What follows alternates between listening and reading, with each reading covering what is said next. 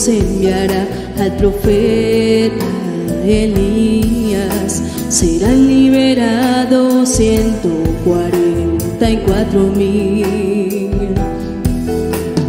Pero la cuarta vez que Dios ha enviado al profeta Elías, un pueblo gentil como la viuda de Sarepta obtendrá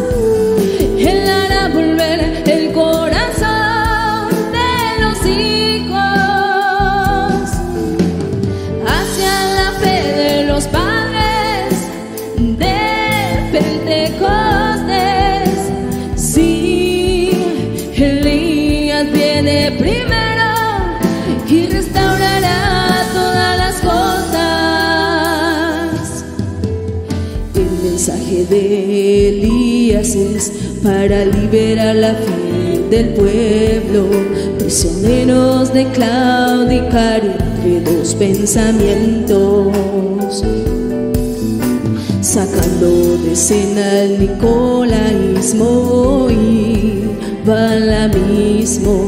Y después de la gran sequía por causa de Acab y Jezabel, traer de regreso lluvia temprana lluvia tardía.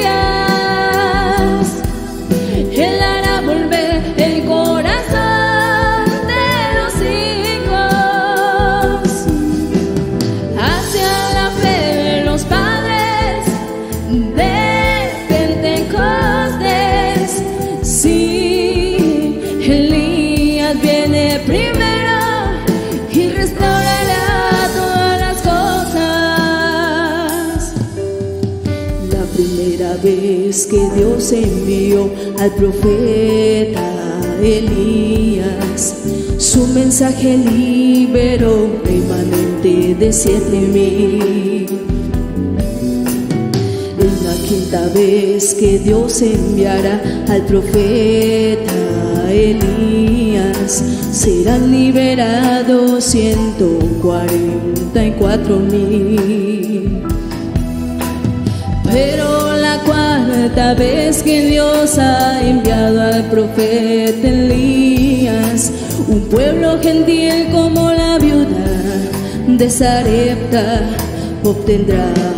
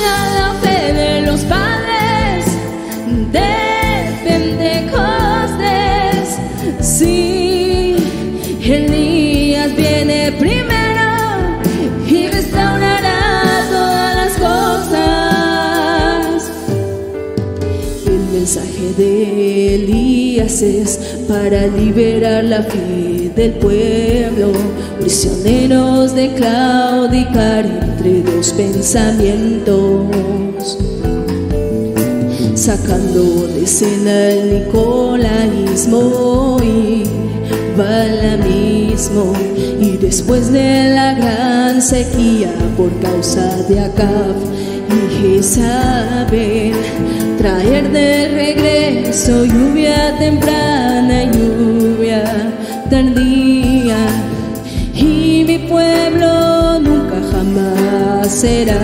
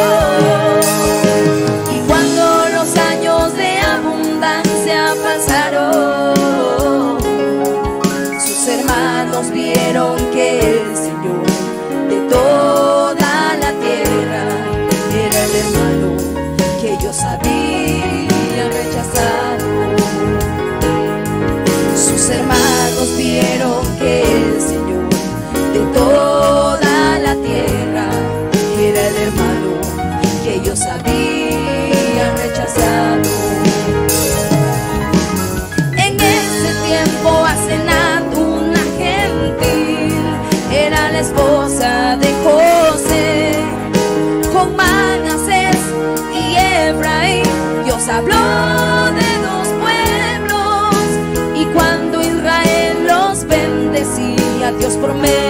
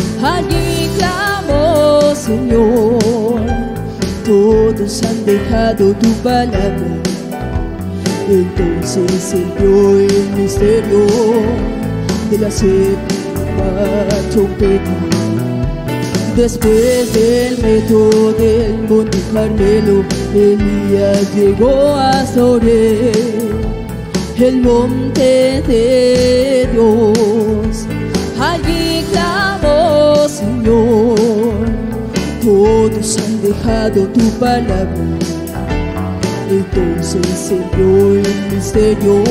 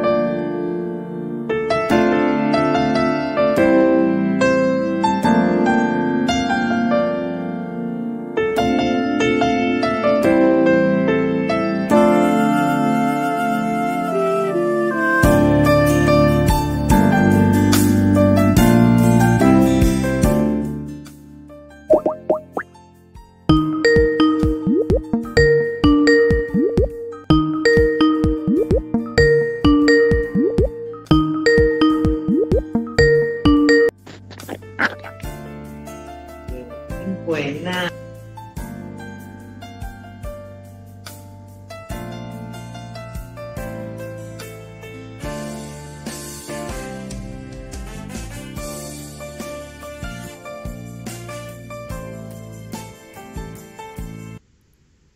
Amén, hermanos y hermanas, que el Señor Jesucristo los bendiga.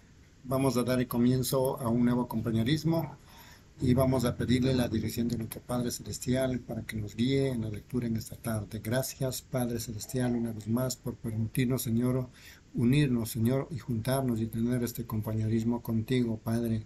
Esto es la lectura de estos gloriosos mensajes de nuestro profeta Elías que estaba grabado, Señor, durante mucho tiempo, Señor. Apocalipsis 17, entrado en la cena, Señor, y esta es la razón, este es el motivo que nuestro mensajero se fue de la cena, pero ha quedado estos gloriosos mensajes para cumplir tu siguiente promesa de Apocalipsis 18 al 11, oh Señor. Muchas gracias por este privilegio, Padre. Mientras estamos aquí en esta tierra, oh Padre, en este espacio llamado tiempo, peregrinando, Señor, no sabemos cuándo tú designará lo que tiene que ser, Señor, pero mientras tanto queremos alimentar día a día de tu palabra, Señor. Bendice grandemente al alma, al corazón de todos los hermanos y hermanas que estarán en la cena, Señor, y permite que entremos rápidamente en la cena de tu palabra, en el nombre del Señor Jesucristo. Amén, mis hermanos y hermanas, que el Señor Jesucristo los bendiga. Vamos a dar, a continuar con la lectura de este glorioso mensaje titulado Si Dios está con nosotros, ¿dónde están sus maravillas? Servicio realizado en Jeffersonville, Indiana, Estados Unidos, el día 31 de diciembre del año 1961. Iniciamos este nuevo, nuevo día y vamos a continuar en los párrafos 16. Y en esta noche, viendo que se han congregado aquí nuestras iglesias hermanas, juntos con sus pastores, tenemos a nuestro hermano Grank y hermanos de distintas partes del país, de Utica, de Sellersburg, de Georgetown y varios lugares, almas preciosas se han reunido aún de otros estados esta noche para ayudarnos en este gran jubileo el cual estamos celebrando. Y hemos dedicado este tiempo para cantar himnos, elevar una oración y el escuchar la palabra de Dios. Llena todo corazón, quita toda duda, quita todo temor, quita todo cansancio y permite que el Espíritu Santo entre en nuestros corazones y siempre la palabra. Permite que seamos nosotros el campo en el cual caiga la palabra y el cual produzca frutos en este año venidero. Concédelo, Señor. Ayúdame ahora, siendo que me ha tocado la suerte, ha caído sobre mí esta vez para hablar. Ruego que tú unjas las palabras que se han de hablar y que salgan bajo la unción del Espíritu Santo con expectativa, Señor, para traer individuos a ti que antes no te han conocido y los que ya te conocen que tengan mayor fe para servirte. Concédelo, Señor, y ayuda a mi voz, siendo que tengo este resfriado y estando muy cansado después del mensaje de cuatro horas de esta mañana, ruego que me ayudes Ayúdanos a todos y prepáranos para este culto y la Santa Cena. Bendice esta iglesia junto con su pastor, nuestro hermano Neville. Bendice a los síndicos y a los diáconos y que te sirvan con más valentía en este año que en cualquier otro tiempo. Gracias por su servicio y su valentía. ¿Cómo ha sido que me han respaldado fiel cuando me encontraba en necesidad de tal apoyo? El hermano Neville y el hermano Roy Robertson y todos los preciosos hermanos quienes se mantuvieron fieles a nuestro lado en tiempos tenebrosos y bajo el liderazgo del Espíritu Santo han hecho decisiones lo mejor posible y las decisiones que han hecho han probado ser tu voluntad porque tú has bendecido sus decisiones. Dios, continúa con ellos y ayúdanos a todos ahora en esta hora. Pedimos esto en el nombre de Jesús. Amén. Párrafo 18. Ahora, para ustedes que apuntan los textos y confiando que estarán orando por mí y por unos cuantos momentos, deseo llamarle la atención a una porción de la escritura llamada hallada en el libro de los jueces, en el capítulo 6, comenzando con el versículo 7. Deseo que escuchen quietamente y que escuchen la palabra. ¿Me pueden escuchar bien allá atrás? Levanten sus manos si pueden. Muy bien. Y si vigilan, los que controlan este micrófono, vigilan que funcione bien. ¿Se están grabando las cintas? Párrafo 19. En jueces capítulo 6, comenzando con el versículo 7, escuchen bien porque a, este, a esto me voy a referir en unos momentos.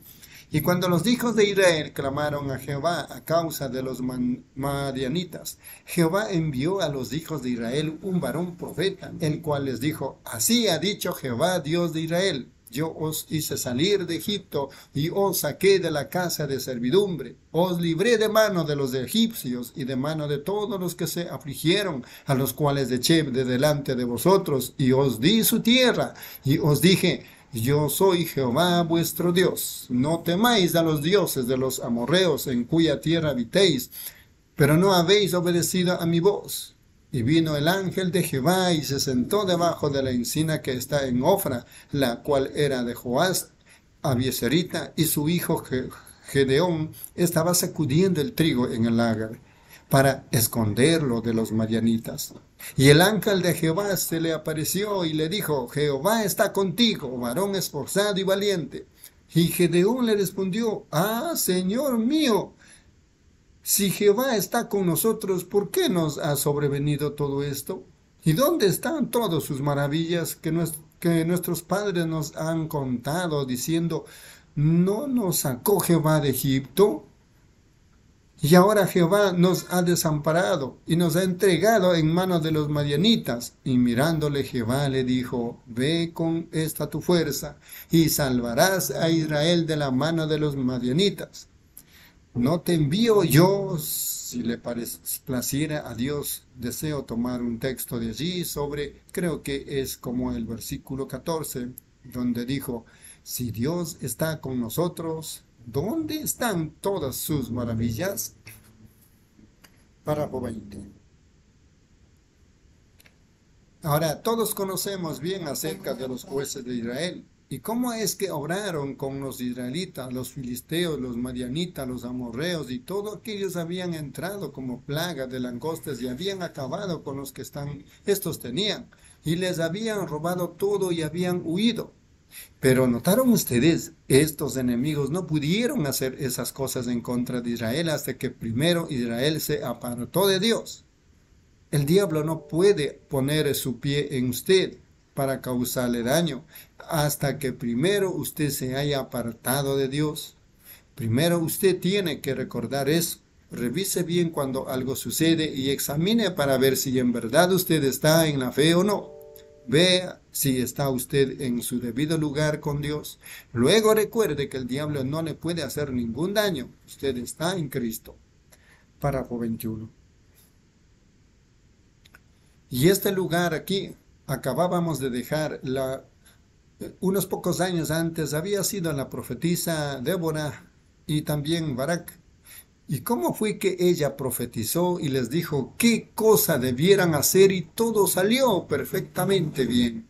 Barak fue aquel gran guerrero y escribieron aquel himno del triunfo sobre el enemigo. Pero tan pronto como salieron de ese enredo, regresaron directamente a la zanja una vez más. Oh, si ese no es el cuadro perfecto de la iglesia hoy en día. Tan pronto como sale de un enredo, allí va directamente a otro. Pero el tiempo de acción había llegado. Y es lo mismo hoy, el tiempo de acción ha llegado. El tiempo había llegado allá entonces cuando el jugar en la iglesia había llegado a un alto con Dios. Y ahora ya no podemos andar jugando a la iglesia. Tenemos que tomar las cosas seriamente. Y yo estoy confiando que ese mismo Dios pondrá este mismo sentir en el corazón del pueblo en esta noche y puedan reconocer que es tiempo de poner fin a eso de jugar a la iglesia, de jugar a ser religioso, de jugar a ser justo y ahora es tiempo de entrar en acción. Como yo estaba predicando en esta mañana sobre el tema de lo que era el nuevo nacimiento y cómo es que llegamos a eso, seguramente eso aún está bien anclado en sus corazones. Ahora ha llegado el tiempo de poner por obra lo que uno sabe que es la verdad. Uno no puede actuar en fe hasta primero saber lo que está haciendo. Primero uno tiene que saber lo que está haciendo antes de tener fe para ejecutarlo. Párrafo 22. Alguien me dijo en una ocasión, un médico muy bien conocido, estábamos hablando de un milagro que había acontecido con una persona enferma. Y él me dijo, predicador, ¿No cree usted que si usted le dijera a esa gente que fueran y tocaran un árbol o algún poste que la misma cosa sucedería? Dije, no, señor. Dije, porque uno no puede tener fe al tocar un árbol o algún poste. Fe no es así de suelta. Tiene que estar basada en un hecho conocido. Uno tiene que tener conocimiento de aquello en lo cual está poniendo su fe antes de poder tener fe en dicho asunto. Así que primero tenemos que conocer cómo y cuál, cuál es el deseo de Dios, cuál es el plan de Dios y cómo llegar ante Dios por medio de ese plan. Luego podemos presentarnos confiados ante el trono de gracia y hacer nuestra plegaria conforme al plan de que nos ha sido prometido. Párrafo 23. Ahora ellos habían estado jugando a la iglesia. Tan pronto como salieron de un enredo, Dios los libró Luego, en vez de continuar bien y verdaderamente servir a Dios, viendo su mano poderosa, ellos nuevamente se enlazaron con las cosas del mundo. Y por eso el tiempo había llegado cuando Dios mandó a hacer alto. Y así tiene que ser. Y yo pienso que ahora es el tiempo de mandar a hacer alto. Nosotros hemos torcido la palabra de Dios para ajustarla a toda organización que hay en el mundo. Todo plan de cada hombre ha tramado Hemos torcido la palabra de esta y aquella manera y lo hemos torcido para cuadrar con un plan. Pero la hora ha llegado de hacer un alto, que paran de jugar a la iglesia. Estamos en la hora cuando la gente dice, oh, si puedes obtener suficiente espíritu para danzar en el espíritu, si puedes obtener suficiente para poder ver luces ante los ojos, o que alguna sensación te corra por la columna vertebral, que te haga temblar o te haga estremecer o mostrar alguna emoción, entonces, ¿lo tienes? En verdad tienes algo, pero yo no me atrevería a decir qué cosa tienes hasta primero ver qué clase de fruto produce. Como vimos en detalle hoy en la mañana, uno no puede esperar que un bebé nazca ya hecho hombre. Él tiene que crecer eh, a eso. Y nosotros crecemos en Cristo hasta la medida completa. Algo el caso no es que una persona se convierta en esta noche y mañana salga a predicar el Evangelio. Nosotros crecemos hasta ser adultos, hasta la estatura completa de Cristo. Párrafo 24. Ahora, hallamos que cuando el pueblo de Dios se encuentra en problemas, Dios siempre les manda un profeta con la palabra verdadera para librarlos. Jamás ha habido un tiempo cuando el pueblo de Dios se haya encontrado en problemas que Dios no les haya enviado su palabra. Y como vimos hoy en la mañana, su palabra viene a los profetas y la manera como usted lo prueba es hallar si es de acuerdo a la palabra. Si es de acuerdo a la palabra, entonces la palabra de Dios es vivificada. Ahora muchos podrán decir, este es el profeta de nuestra iglesia. Este es el profeta de nuestra iglesia. Y los dos contrarios, el uno al otro, algo tiene que estar mal. Todos debemos hablar la misma cosa. Luego debemos hablar no contrariamente, sino exactamente con esta palabra. Así es como un verdadero profeta es probado. Si es que tiene la palabra, la Biblia dice, si su testimonio no fuere según la ley y los profetas, en ellos no hay luz. Correcto, tiene que ser de acuerdo a la palabra. Párrafo 25 por último. Y Dios, con toda, en toda ocasión, manda al pueblo un verdadero siervo un profeta verdadero, el cual traerá la verdadera palabra de Dios. Y la palabra de Dios es lo que siempre libera a la gente, siempre. Ahora, si volveríamos a leer del versículo 7 al 10, hallaríamos en eso del versículo 7 al 10 que Israel se había apartado de Dios y nuevamente había vuelto al mundo y allí salió de la nada y ni siquiera nos da su nombre. Me supongo que este profeta no tenía mucho interés en su propio nombre. Él estaba interesado en una sola cosa. Dios lo había ungido. A él no le importaba si calificaba en sus denominaciones u otras cosas. No le importaba si él era obispo o arzobispo. Lo único que le importaba era ese mensaje que traía en su corazón. Y él llamó al pueblo nuevamente al arrepentimiento y al entendimiento de que su Dios era un Dios de poder y un Dios de liberación, un Dios de maravillas, el cual les los había rescatado de las manos de los egipcios, les había abierto el mar rojo y les había alimentado en el desierto y que era el Dios de poder que podía quitar el terreno a otros y dárselo a ellos. Amén. Ese era un verdadero profeta. Él era ungido y él era la voz de Dios para aquel pueblo. Él habló para que así fuera porque ellos estaban en problemas. Amén, mis amados hermanos y hermanas.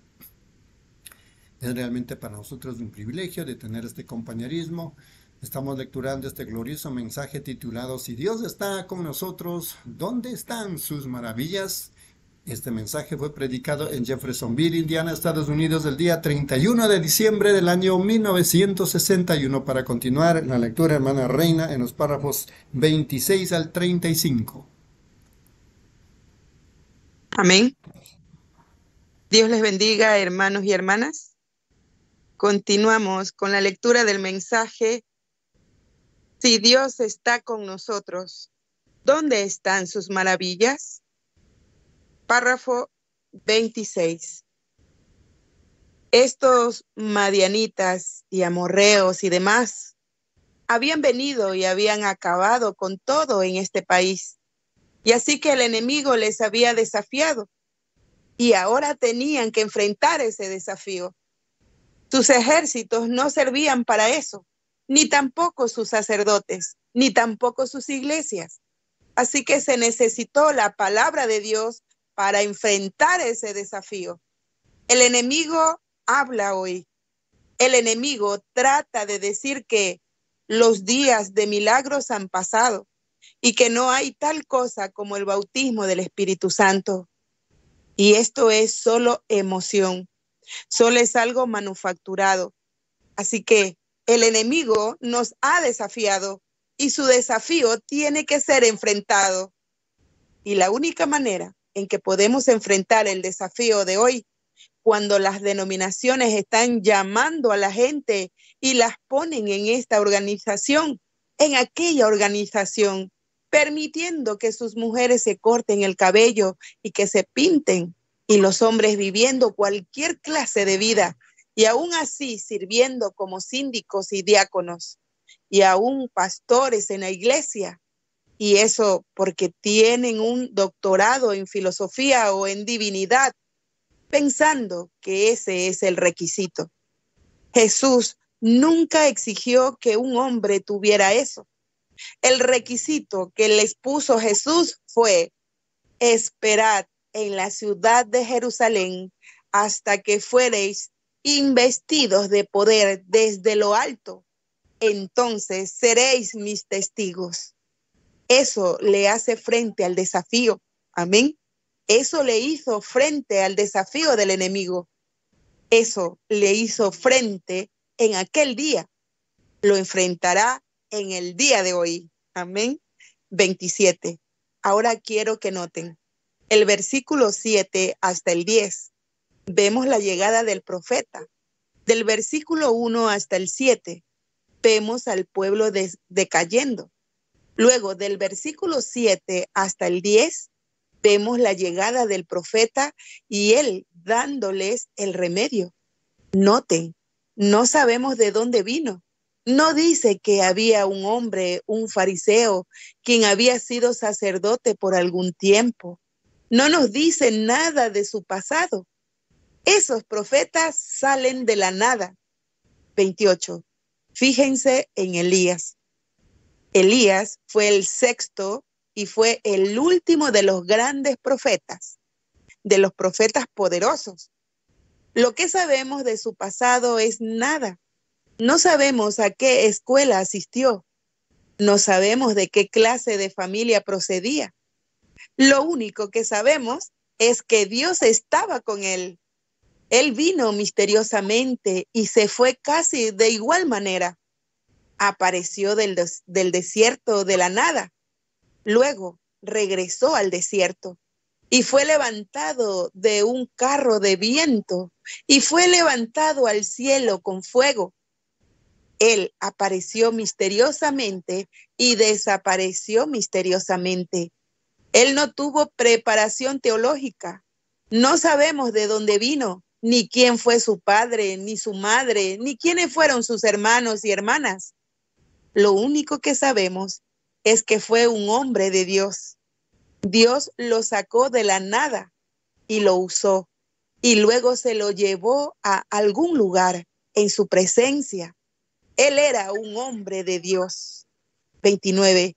Y ahí vino el profeta para esa hora y les dio la palabra del Señor. Recuerden, él no les dio alguna teología humana. Él dijo, yo soy Jehová quien os hice salir de Egipto. Os mostraré mi mano poderosa, os mostraré mi poder. Me imagino que Gedeón estaba sentado allí cerca, escuchándole. Yo soy Jehová, quien ha hecho todas estas cosas y he hecho todo esto por vosotros. Sin embargo, vosotros no habéis guardado mis mandamientos. A la luz de todo esto, no los habéis cumplido. 30. Ahora quiero que noten otra cosa que quizás les anime. Inmediatamente después del mensaje de aquel profeta, el Señor apareció en la escena. Amén. Tan pronto como él hubo dado su mensaje, el Señor apareció debajo de un árbol. El Señor vino después del mensaje del profeta, sentado bajo un árbol. El profeta dio, el pueblo se había apartado, cada quien en su ismo. Dios mandó su profeta. Tan pronto como el profeta hubo terminado su mensaje, el Señor vino después del mensaje del profeta para liberación. Oh, estamos viviendo en una hora tan tremenda. Inmediatamente, cuando el profeta se fue de la escena, ¿qué sucedió? El Señor vino a la escena. Tan pronto como Juan desapareció de la escena, el Señor vino a la escena. Es muy raro como el Señor obra, pero así lo hace. Obra de una manera misteriosa. Amén. 31. Leamos aquí en la escritura que Gedeón, atemorizado, estaba allá junto al lagar, trillando suficiente trigo antes que lo hallasen los filisteos o los madianitas. Él, junto con su papá, estaban almacenando el alimento para el invierno y lo estaban trillando secretamente para que no los hallasen porque estos entraban como langostas y les robaban todo. 32. Y así es como obra el diablo. Por ahí se comienza una iglesita y todo está marchando bien. ¿Cuántos predicadores no saben que esto es la verdad? Y cuando todo está marchando bien, algún personificador entrará como que es parte del grupo y lo hará pedazos, ¿correcto? y le robará a la iglesia al hombre si lo puede lograr. ¿Ven? Ese es el diablo. Entran como langostas y se llevan lo que ha sido dado. Ahora, cuando Gedeón ciertamente fue un hombre escritural, cuando el ángel de Jehová le dijo, y si notan aquí, no era el ángel del Señor, dice, y mirándole Jehová, J-E-H-O VA, lo cual está escrito en mayúscula en inglés. No fue un ángel, fue Dios. Fue una, una teofanía en un hombre, a la imagen de Dios, así como apareció a Abraham allá en el desierto y parecía un hombre. Así que, siendo un mensajero, él era el ángel de Jehová y le apareció y le dijo, varón esforzado y valiente, y le dijo que lo iba a tomar e iba a librar a Israel por medio de él. 34.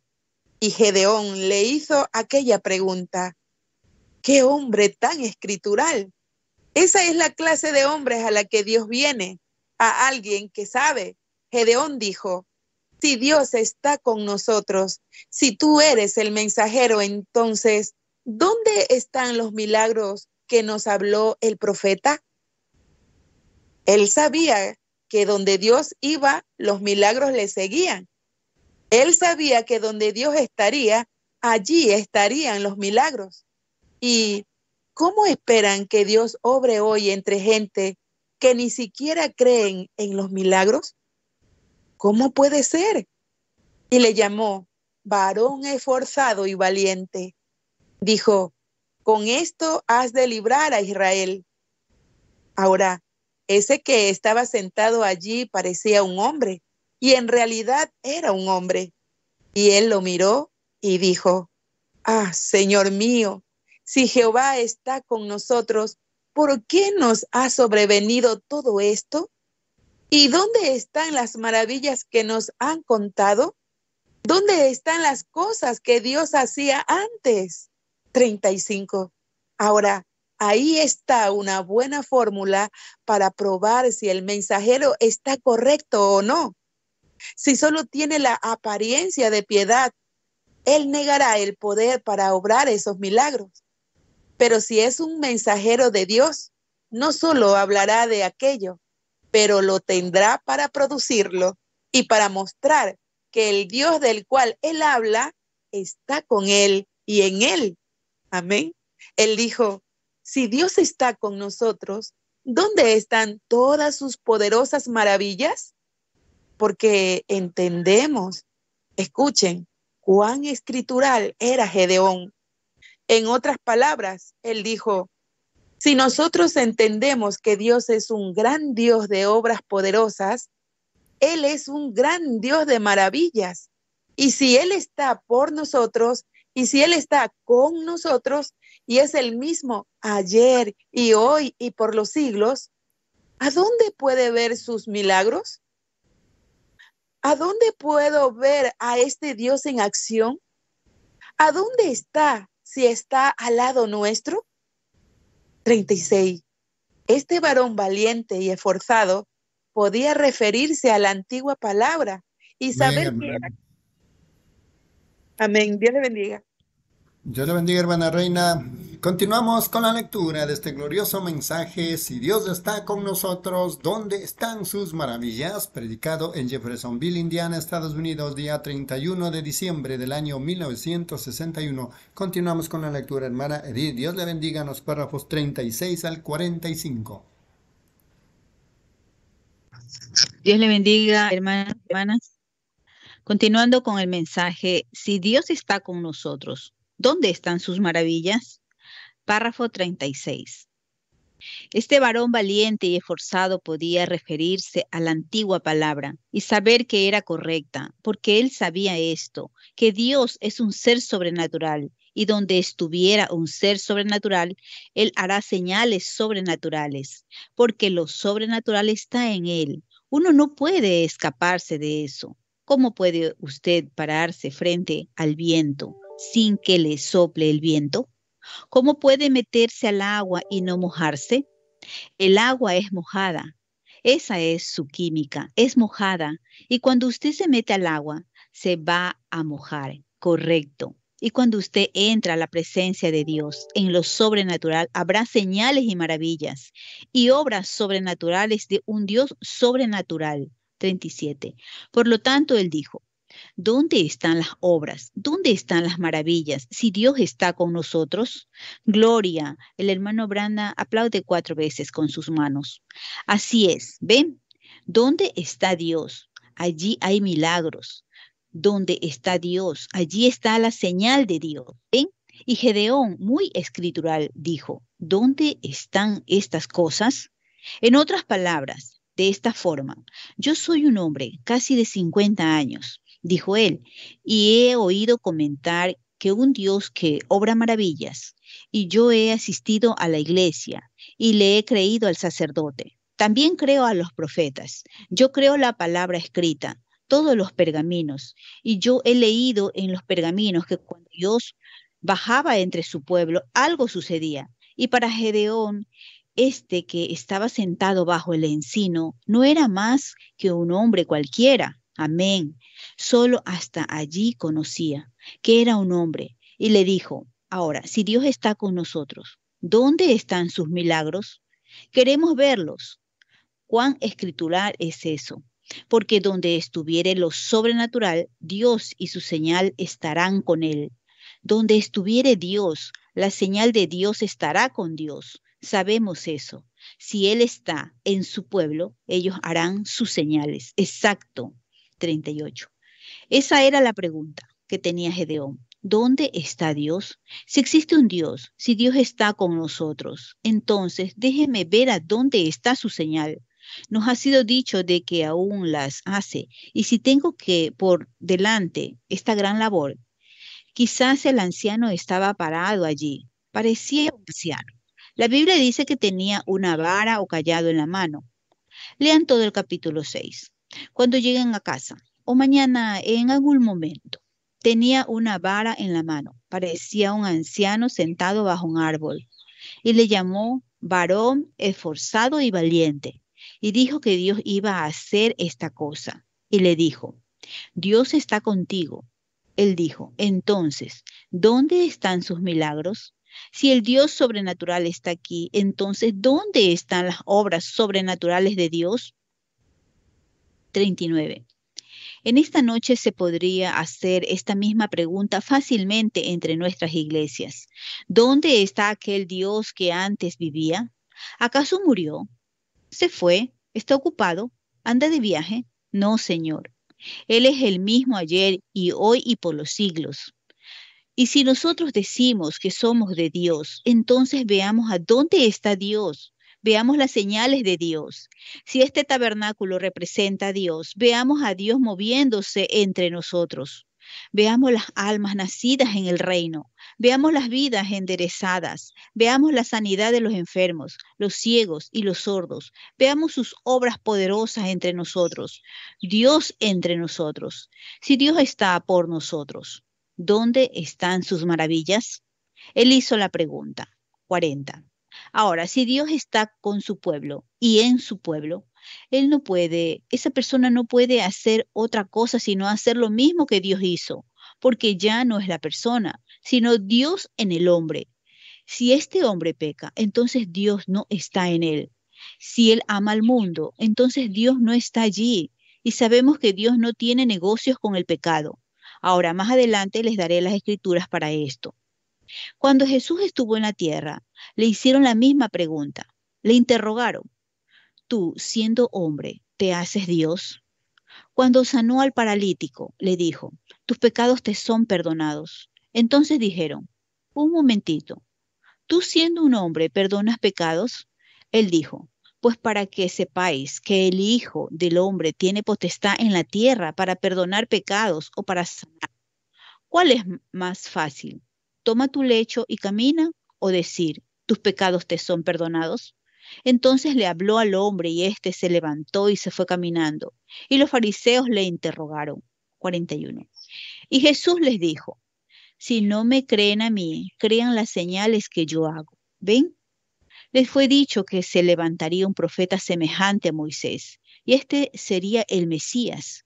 Y él dijo, si yo no hago las obras de mi Padre, entonces no me crean. Yo estoy errado. Pero si hago las obras de mi Padre, y no me creen a mí, entonces crean las obras. ¿Y qué hacen las obras? Les dicen quién soy yo, testifican de mí, son mis testigos, no mis credenciales mostrando que pertenezco a la iglesia presbiteriana o a la pentecostal, o que puedo mostrar mi tarjeta de compañerismo, pero más bien las obras que yo hago, las señales de Dios, las señales del Mesías, estas testifican de mí. 42. Jesús dijo en San Juan 14, 12, para los que desean apuntar la escritura, San Juan 14, 12, el que cree en mí, las obras que yo hago también él las hará. Amén, hermanos. ¿Qué es entonces? Si Dios está con nosotros, ¿dónde están sus maravillas? Si Dios está en nosotros, ¿qué pasa con nosotros entonces? Algo anda mal en alguna parte. Sí, Jesús dijo, si no pueden creerme a mí, lo que yo digo, entonces pongan atención en lo que testifica de mí, porque estas son las que dan testimonio de mí. Jehová su Dios ha dicho, se levantaría un profeta semejante a Moisés, y todo aquel que no oyere las palabras de este profeta será desarraigado entre el pueblo.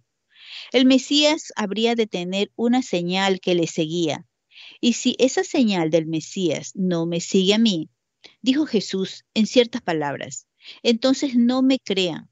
Pero si la señal del Mesías testifica de mí, entonces crean la señal, porque si piensan que yo estoy errado, la señal sí es correcta, porque es escritural. Aleluya. 43. A ese punto deseaba llegar Gedeón. Allí es donde estaba parado Gedeón. Oh, si en verdad existe un Dios que está al lado nuestro, Deseamos ver la señal mostrando que Él es un Dios y que es el mismo Dios, porque Él hará las mismas señales. ¿Qué hizo Dios? Gedeón dijo, espéreme aquí, voy a traer un sacrificio. Entonces él fue y mató un cordero y lo hirvió. Trajo pan y trajo el cordero y se lo ofreció. Y el ángel le dijo, yo aquí te espero. Hay que probar todas las cosas, examinarlas por la palabra. Y él le dijo, yo aquí te espero. Y quizás pasaron dos o tres horas. Entonces llegó Gedeón con el caldo y el pan y la carne. Y el ángel le dijo, por esto entenderás aquí, te lo probaré. Él vació el caldo en el suelo por libación, una ofrenda, y tomó el pan y la carne, y los colocó sobre la piedra, donde habían estado sacudiendo el trigo, y tomó la vara que traía, el callado, como lo haría un anciano, y los tocó. Y cuando los tocó, el humo subió y el sacrificio fue consumido. ¿Qué fue? Él lo llevó nuevamente a las escrituras para probarle quién era.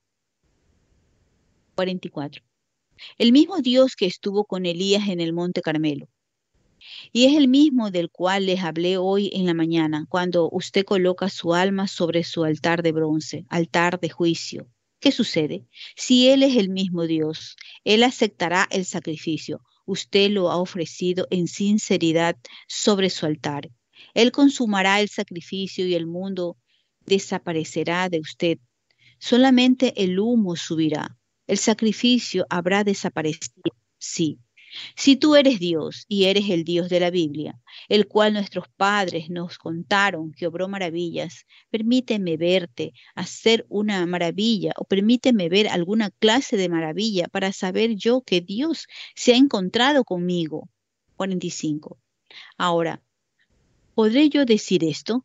Si Dios sigue siendo Dios y si es el mismo Dios que fue en los días pasados, usted no tiene que llegar al frente y estrechar la mano del ministro. Usted no tiene que registrarse en algún libro. Esas cosas están bien. Yo no tengo nada en contra. Pero luego usted se convierte en un miembro de iglesia, con su nombre en un libro, y le dan una carta que usted anda guardando. Y tan pronto como surge un problema allí, usted se revienta como no sé qué y se lleva su cartita a la próxima iglesia. Y tan pronto como se presenta un problema en esa iglesia, usted se la lleva a la siguiente iglesia. ¿Ve usted? Es que en primer lugar usted no ha obrado correctamente. Si Dios sigue siendo Dios, coloque su alma pecaminosa sobre su altar y Él lo tocará con su palabra y con su poder. Entonces el mundo desaparecerá de usted y entonces usted será una nueva criatura si Él aún es Dios. Amén. Dios le bendiga, hermanos. Amén, hermana Edith. Dios le bendiga la lectura. Continuamos con este glorioso mensaje titulado Si Dios está con nosotros, ¿dónde están sus maravillas? Predicado en Jeffersonville, Indiana, Estados Unidos, día 31 de diciembre del año 1961. Continuamos con la lectura, hermana Margarita. Dios le bendiga en los párrafos 46 al 55.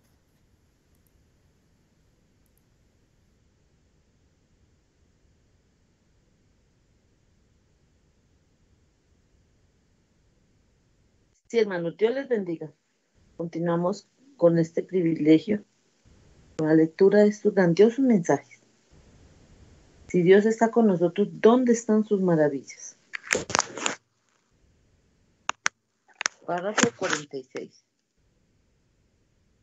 Él fue el Dios del Antiguo Testamento, fue el Dios del Nuevo Testamento y es el mismo Dios hoy, ayer y hoy y por los siglos. Y entonces usted sabe en su corazón que se ha efectuado una obra sobrenatural por medio de un ser sobrenatural. Cuando antes usted bebía y fumaba y mentía, y ustedes, damas, amaban tanto el, al mundo, seguían pintándose en la cara, cortándose en el, el cabello y haciendo las otras cosas que hacían.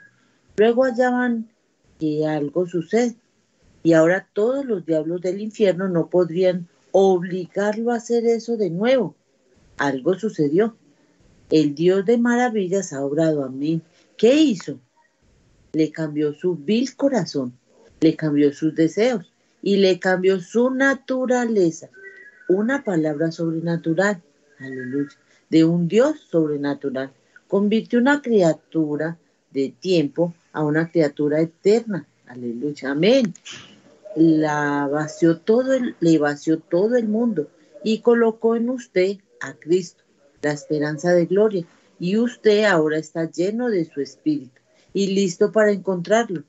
Párrafo 47. Si Dios es Dios, ¿dónde están sus, sus milagros? Si Dios está con nosotros, ¿dónde están sus milagros? Si Dios está con la iglesia metodista, porque es que todas las mujeres todavía andan con cabello corto. Si Dios está con la iglesia bautista, ¿por qué el pastor todavía fuma cigarrillos? Muchos de ellos, ¿por qué todavía niegan el poder de Dios para sanar a los enfermos y levantar los muertos y para hablar en lenguas y para interpretar lenguas y los dones de, de profecía? ¿Por qué siguen negando estas cosas si el Dios del Antiguo Testamento y el Dios del Nuevo Testamento es el mismo Dios? Si Él es Dios del Nuevo Testamento y el Espíritu Santo todavía es el Dios que los pentecostales dicen que es, ¿por qué no derriban ellos mismos sus paredes de divisiones y la contienda el uno con el otro y lleguen a ser cristianos renacidos? Correcto, pero no, ni se hablan el uno al otro. Ven, el sacrificio no ha sido consumido pasan por algunas sensaciones, pero eso lo han hecho a través de todas las edades. Aún bajo, ídolos recibieron sensaciones. Párrafo 48. Pero el Dios de la, de la Biblia, el cual Dios es el mismo ayer y hoy por los siglos, Él hace cenizas de todo lo que es el mundo y toda la indiferencia y nos convierte en nuevas criaturas en Cristo. Si Jesús dijo, estas testifican y os dicen quién soy yo. La verdad del asunto y la razón en que tenemos todas estas cosas es porque todavía permitimos que las diferencias, perdón, que permitimos que las diferencias, diferentes denominacionales, diferencias denominacionales, los credos, las peleas, la fama, y los diablos de este mundo nos cieguen la vista a la genuina verdad de Dios. Correcto. Párrafo 49. Muchísimas personas han sido engañadas en creer que han recibido el Espíritu Santo. Como he dicho yo, tienen tantas doctrinas hoy día como por ejemplo las vestimentas de Elías y, y tantas otras cosas, los hijos manifestados de Dios y todos estos sismos distintos, etcétera en el mundo hoy y la gente sigue ciegamente y recibe alguna clase de sensación y luego se levanta con un espíritu arrogante, indiferente, exige el peliagudo, ese no es el espíritu de Dios y sigue adelante, fuera de orden, ni conocen lo que es el orden de la iglesia, no saben cómo portarse en la casa de Dios, no tienen nada de cortesía, nada, nada de audacia y sin, sin sentir nada hacia Dios. Todo lo que piensan en mi iglesia muestra claramente que recibieron un espíritu de iglesia y no el espíritu de Dios, porque el espíritu de Dios le saca todo eso, lo quema, seguro. Ven, dicen, ¿a dónde estás? Tenemos ese derecho. Párrafo 50. Pero miren, si las nubes están tapando el sol, el sol siempre está brillando.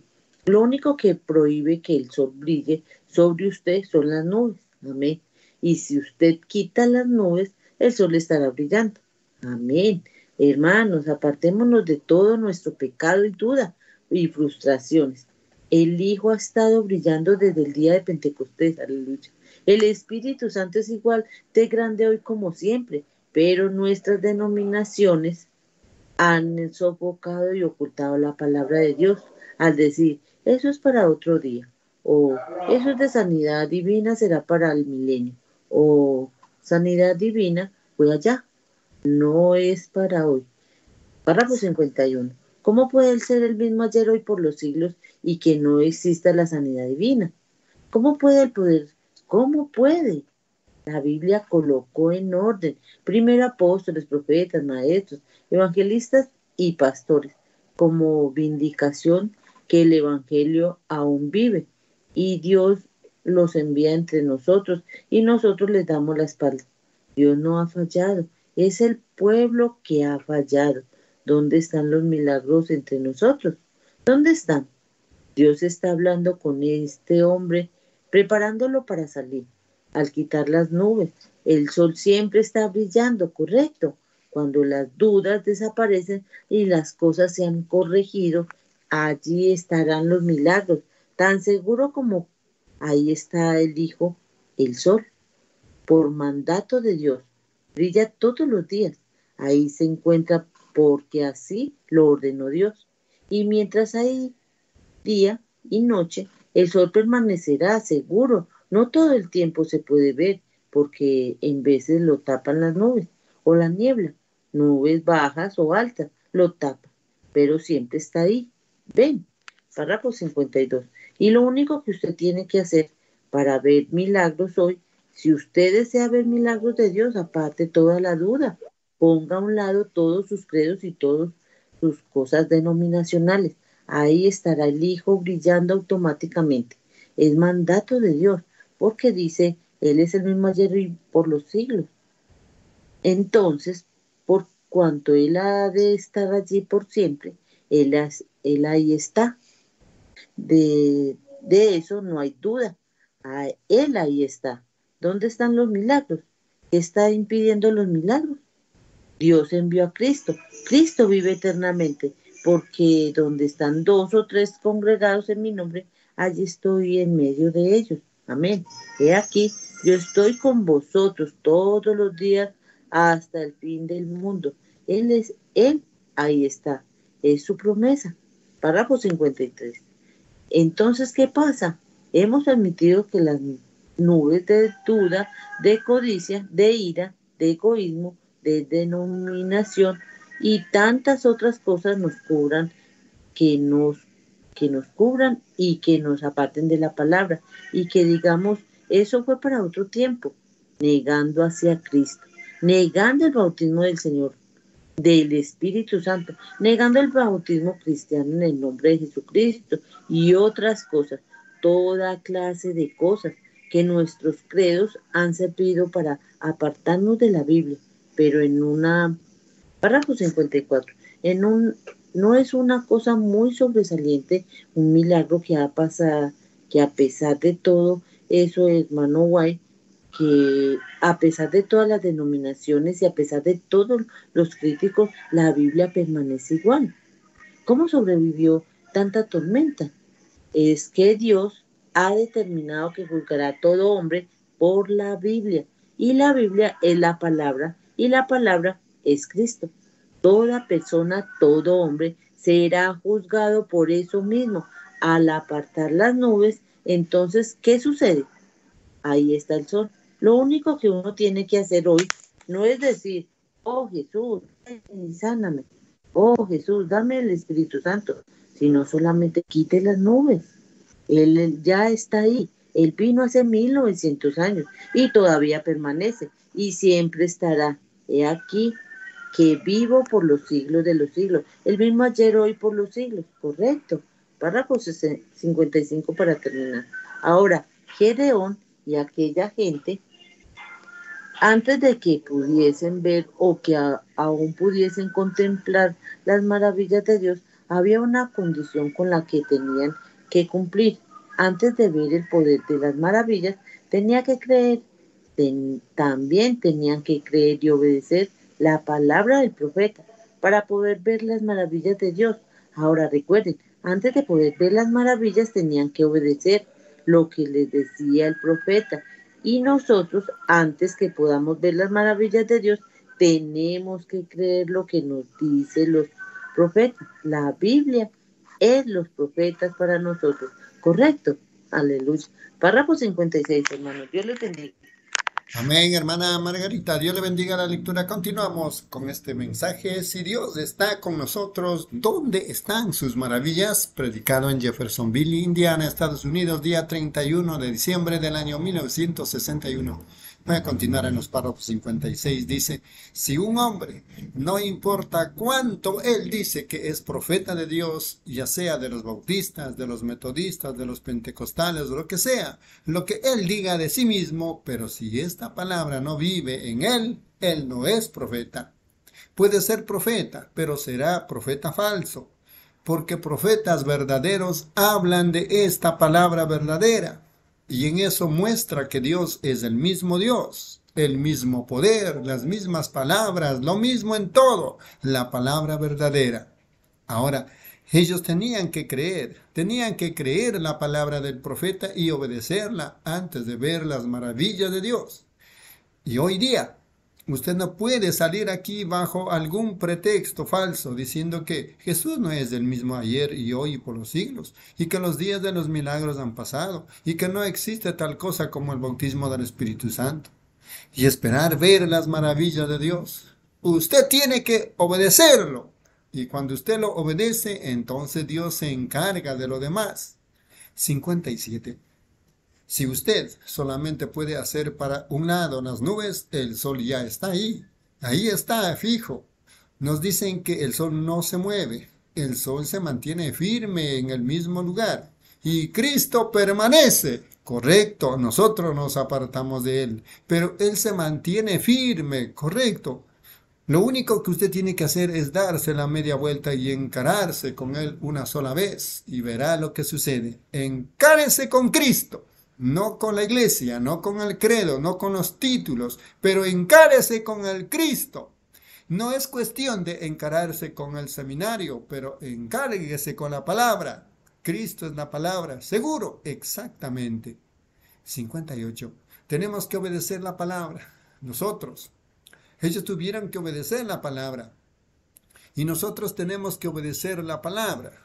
Si desean saber eso, tengo una escritura anotada aquí. Dice, si permanecéis en mí y mis palabras permanecen en vosotros, pedid todo lo que queréis. Ven, ¿qué fue? Si la palabra de Dios está en nosotros y ahí permanece, entonces sencillamente habla por sí misma.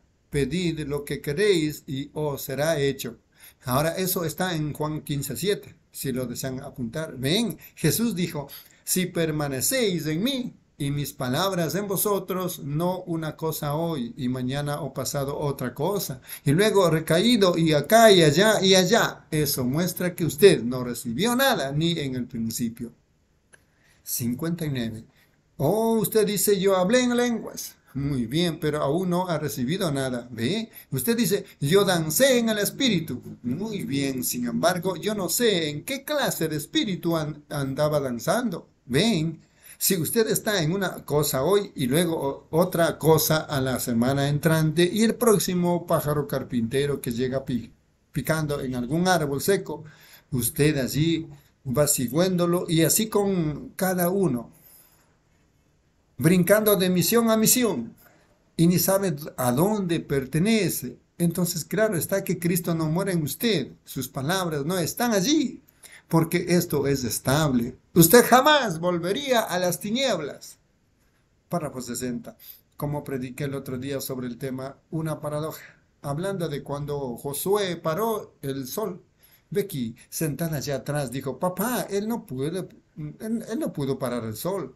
Dijo, se pararía la tierra. Él paró la tierra. Le dijo, él paró el sol. Dios no comete errores en su Biblia. Dijo, ¿cómo pudo detener el sol si el sol ni siquiera se mueve? El sol está fijo. Le dije, pero él no estaba hablando de aquel astro allá lejos. Lo que él detuvo fue este sol que estaba viajando y produciendo luz a través de la tierra.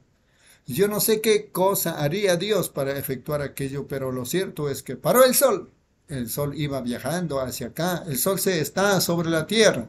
El reflejo del sol. Nosotros no podríamos mirar aquel astro a la distancia de un millón de millas o millones de millas, pero el reflejo del sol, el cual estaba viajando a través de la tierra, produciendo día y noche, eso es lo que Josué mandó parar y se detuvo. Una paradoja es algo increíble, pero cierto. Y eso es algo increíble, sin embargo es cierto. Párrafo 61. ¿Cómo puede Dios tomar un pecador, un hombre arrogante, peleagudo, exigente, y convertirlo en un santo de Dios? ¿Cómo puede Él tomar una mujer tan inmunda que ni los perros de la calle le prestan atención y convertirla en una santa de Dios? Yo no se lo puedo explicar, pero lo ha hecho es una paradoja. Seguro, todas las grandes obras de Dios son paradojas. Si permanecéis en mí y mis palabras permanecen en vosotros, pedid todo lo que queréis y os será hecho. Juan 14, o San Juan 15, perdón, San Juan 15, 7. Muy bien. 62. Regresemos a Génesis por un momento. Noé tuvo que hacerle frente a las condiciones. Noé tuvo que creer la palabra de Dios y ponerla por obra antes de poder ver la maravilla de Dios. Correcto. Noé, el gran profeta de Génesis, tuvo que creer la palabra de Dios y ponerla por obra antes de ver la maravilla de Dios. Nunca había llovido. Ustedes saben, no había, no había la lluvia. No había habido la lluvia. ¿Y qué piensan ustedes que nos dicen? Que en cuanto a la ciencia, aquella edad era mucho más avanzada que la nuestra. Nosotros no podemos reconstruir la pirámide ni el esfinge. No tenemos cómo perfeccionar una momia. No podemos hacer que se petrifique así. No podemos teñir la tela para que dure, como hacían ellos allá. Ni tenemos esas cosas. Son cosas que nuestra ciencia moderna ni aún puede hallar, pero ellos lo tenían. Párrafo 63. No tenemos, no tenemos ingenieros como tenían ellos. La gran pirámide en Egipto está tan perfectamente situada en el centro de la tierra que no importa a dónde esté el sol, allí nunca se produce sombra. Jamás podríamos edificar algo así. No sabemos cómo hacerlo, ni tampoco podríamos edificar una pirámide y en lo alto, cerca de la piedra de corona elevadas, casi a media cuadra en el aire. Hay piedras que pesan billones de toneladas, centenares de toneladas, mejor dicho, y así de alto están. Toda la maquinaria que tenemos en todo el mundo no podrían levantar tales piedras a esa altura. Me cuentan que se necesitarían 16 vagones de plataforma de tren para trasladar la piedra de la esfinge. ¿Cómo le metieron allí? ¿Cómo se hizo? Eran científicos muy sabios. 64. ¿Y qué piensan ustedes que le habrán dicho a un hombre, un fanático, que supuestamente era un profeta que decía, el agua va a bajar del cielo? Los puedo oír diciendo, podemos tomar estos instrumentos y medir de aquí hasta las estrellas y no hay ninguna sola gota de agua de aquí hasta allá. ¿Dónde está el agua? No podría responderles, Dios me dijo a mí, va a llover. Con eso basta. Allí queda concluido. Dios dijo que sucedería y exactamente así va a suceder. Muy bien. Debo apurarme, otros hermanos están esperando. Miren, no, él dijo, va a, va a llover. ¿Cómo sabes? Porque es la palabra de Dios. Es así, dice el Señor. ¿Qué vas a hacer al respecto? No es seguir así nada más y predicarlo. No, Señor. Voy a prepararme. Ven. Oh, pero eso sería un milagro. Los días de milagros ya pasaron. Tengan paciencia, más adelante lo verán. Sí, Señor. ¿Y qué hizo? Él construyó el arca antes que cayese la lluvia. ¿Qué estaba haciendo? Estaba obrando a base de la promesa. Amén. Y ahora, me siento pentecostal. Me siento religioso. Párrafo 65.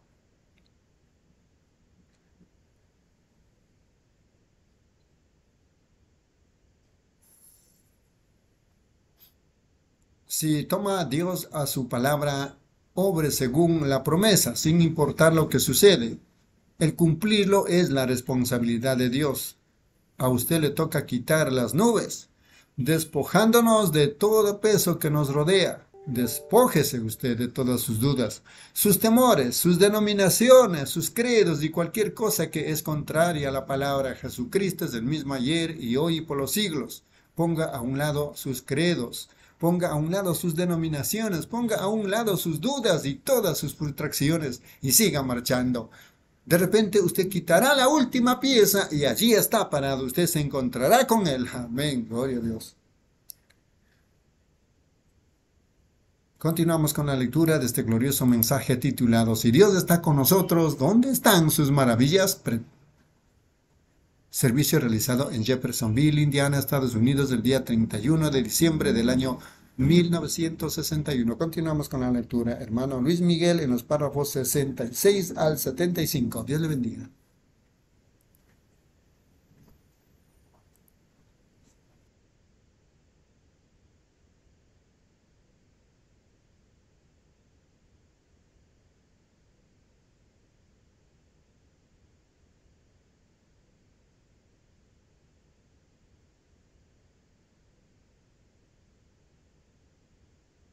Dios les bendiga, hermanos. Párrafo 66.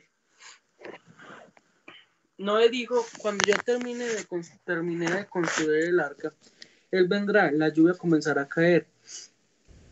El mismo día cuando termines el arca, aun si él demora 50 años, yo estaré sentado en el arca esperándolo. Si viene, porque Dios lo si viene, porque Dios lo ha dicho. Ven, primero él tuvo que prepararse. Él sabía que Dios era un Dios de milagros, así que no podía dudar de él. Dios le había hablado y él lo sabía. Cuando Dios le había le habla a usted su palabra a su corazón, su palabra a su corazón, usted lo sabe. Está muerta, usted lo sabe. Pero si usted ama el mundo o las cosas del mundo, están muertas, usted lo sabe. Pero si usted ama el mundo o las cosas del mundo, usted todavía sabe en su corazón que no está bien. Y es verdad. Así que cuando todo ha desvanecido, desvanecido y no le queda otra cosa más que encontrarse a Dios con Él estar allí, Él permanece igual. Así que, así como el sol, SOL, igualmente el HIJO permanece el mismo ayer, hoy por los siglos. En inglés, palabras sol e hijo suenan igual. Este sol que está brillando fuera es el mismo. Sol que brilló en Génesis es el mismo que sol que brilló sobre Elías en aquel cerro. Y es el mismo sol que se puso en día de la crucifixión. Aleluya, permanece igual. Y el mismo Hijo de Dios es el mismo ayer, hoy, por los siglos. El mismo en poder, el mismo en amor y el mismo en señales. Hoy día, ¿cuál es la señal de un cristiano? Oh, él asiste a la iglesia, se registra en un libro, él tiene una carta. Eso, esa no es la señal que mencionó Jesús. Él dijo, estas señales seguirán a los que creen. En mi nombre echarán fuera demonios, hablarán nuevas lenguas. Si tomaren serpientes en las manos o si bebieran cosa mortífera, no les hará daño. Sobre los enfermos pondrán sus manos y sanarán. Si Dios está con nosotros, ¿dónde están sus maravillas? Seguro volvamos, seguro volvamos a su palabra. Las señales seguirán automáticamente. Volvamos a la palabra. No antes de que antes de ver las maravillas de Dios, como Gedeón quería saber, primero él tuvo que poner por obra la palabra de Dios. Gedeón tuvo que poner la- por obra la palabra de Dios. Toda persona tiene que poner la palabra por obra la palabra de Dios. Antes de que yo pudiese decir que existía un Dios, tuve que poner por, por obra su promesa. Luego él se manifestó. Si ustedes desean sanidad, créale, ponga su palabra por obra. Entonces se cumplirá. Moisés, antes de que él pudiese ver los milagros de Dios, él primeramente tuvo que poner por obra la palabra de Dios. Él sabía que había oído a su madre contar que él había tenido un nacimiento raro. Fue escondido en el, en el carrizal. Ella le había dicho que Dios lo había llamado y pudo escoger a ir allá, allí y matar a ese egipcio y sepultarlo en el polvo. Yo puedo hacer lo que quiera, con eso basta. Pero ven, eso es lo que él estaba procu- pro- procurando hacer. Esa era su idea. Él nunca había visto a aquel Dios que obró el milagro que había guardado durante aquel, aquel tiempo. Pero un día después de, de los 80 años, él estaba pastoreando un- unas ovejas, bajando por un, pa- por un prado. Quizás por el sendero donde las ovejas habían estado corriendo y el pastor anciano iba caminando por ahí, con una, vaca tor- una vara torcida en, en la mano, pegando en el suelo. Quizás a los 80 años, yo cojeaba un poco, ya cojeaba un poco. Quizás tenía ba- barba hasta la cintura y eh, era de color gris, igual que las ovejas que él pastoreaba. De repente él vio algo, oh Dios, era el mismo mis- misterio para él. Ojalá yo les pudiera mostrar algo en esta noche. Y está, y aquí tenemos el agua ya listo. Él vio algo jamás visto antes y él dijo, conviene que investigue esto. Y entonces él se apartó del camino. Y la palabra del Señor vino a él. Gloria, aleluya. La palabra de Dios vino a él. Ahora, antes de que, antes de poder ir, él tuvo que poner por obra la palabra del Señor. Y recuerden, la palabra del Señor siempre obra maravillas. Él dijo, ¿cómo sabré que tú estás conmigo y me has enviado? Le dijo, ¿qué tienes en la mano? Y él le dijo, una vara seca. Tírala al suelo. Esa fue la primera, la primera orden que Dios le dio a Moisés. Si tú quieres conocer que yo soy Dios, tú tienes una vara en la mano, tírala al suelo. Gedeón preguntó, ¿dónde están las maravillas de Dios? Él dijo, coloca ese pan sobre el altar y yo mostraré que es Dios. Entonces él lo tocó con la vara y el humo subió y el sacrificio fue consumido. Párrafo 70. Moisés dijo, ¿quién les, quién les diré que me ha enviado? ¿Cómo yo seré que tú, yo, cómo sé yo que tú eres Dios? Y él dijo, ¿qué tienes en la mano? Yo soy el creador de la vida. Yo soy el que, el Dios que obra maravillas. Y antes de que Moisés pudiese ver el poder de Dios que obró todas las cosas, primero tuvo que obedecer a Dios. Tiró la vara al suelo y se convirtió en una serpiente. Oh, oh hermano, que, que primero viene la, la obediencia antes de que usted vea sus milagros. Estas así llamadas iglesias por todos los países hoy, en, hoy día dicen, ¿dónde están todas las maravillas? Nosotros daremos un mil dólares en cualquier a cualquier persona que pueda producir una maravilla. Oh, usted puede, pobre, decepcionado, retrocedido, dos veces muerto y desarraigado.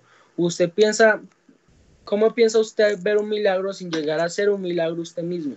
Gloria, el milagro de la, de la gracia de Dios que toma a un incrédulo, incrédulo, escéptico y lo llena del Espíritu Santo.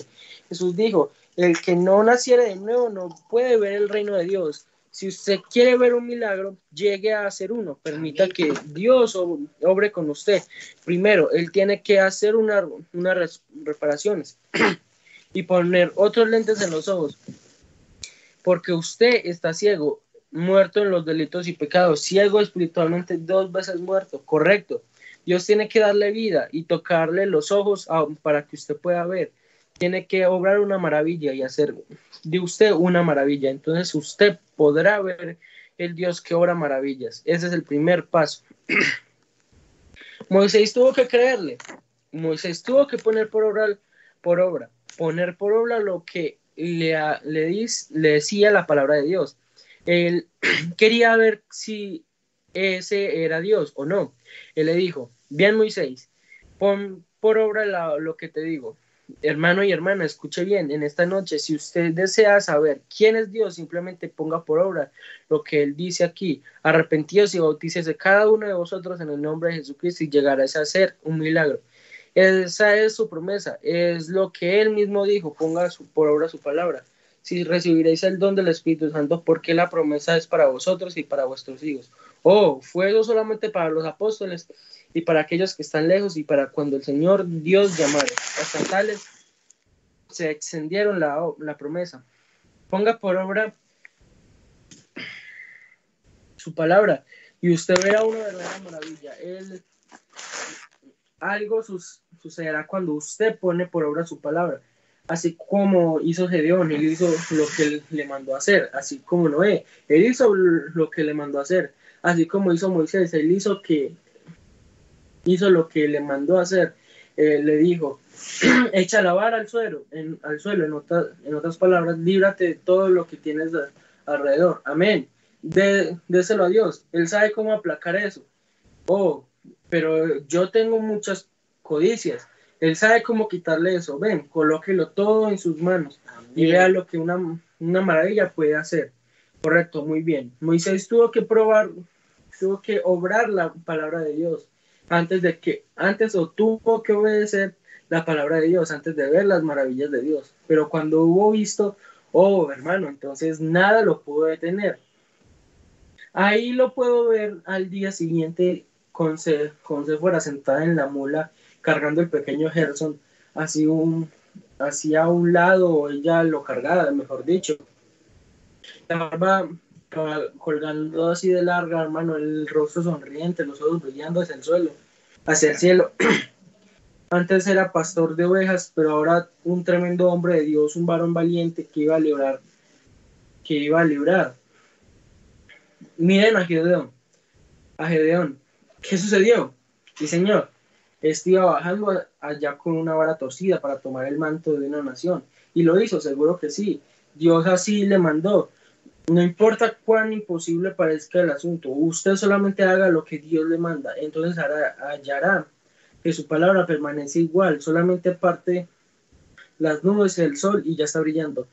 Párrafo 75. Josué, oh, aquel gran conquistador, oh, el sucesor de Moisés, un hombre a quien Dios amaba, un guerrero poderoso, un hombre a quien Dios amaba.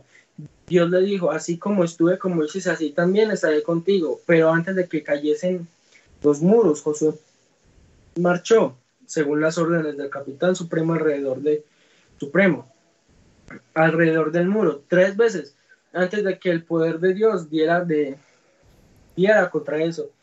Él marchó alrededor del muro y tocó la trompeta, según la palabra de Dios, que el capitán supremo le había dicho allá cuando lo encontró. Él marchó de acuerdo a la palabra de Dios. ¿Quién hizo, ¿Qué hizo eso?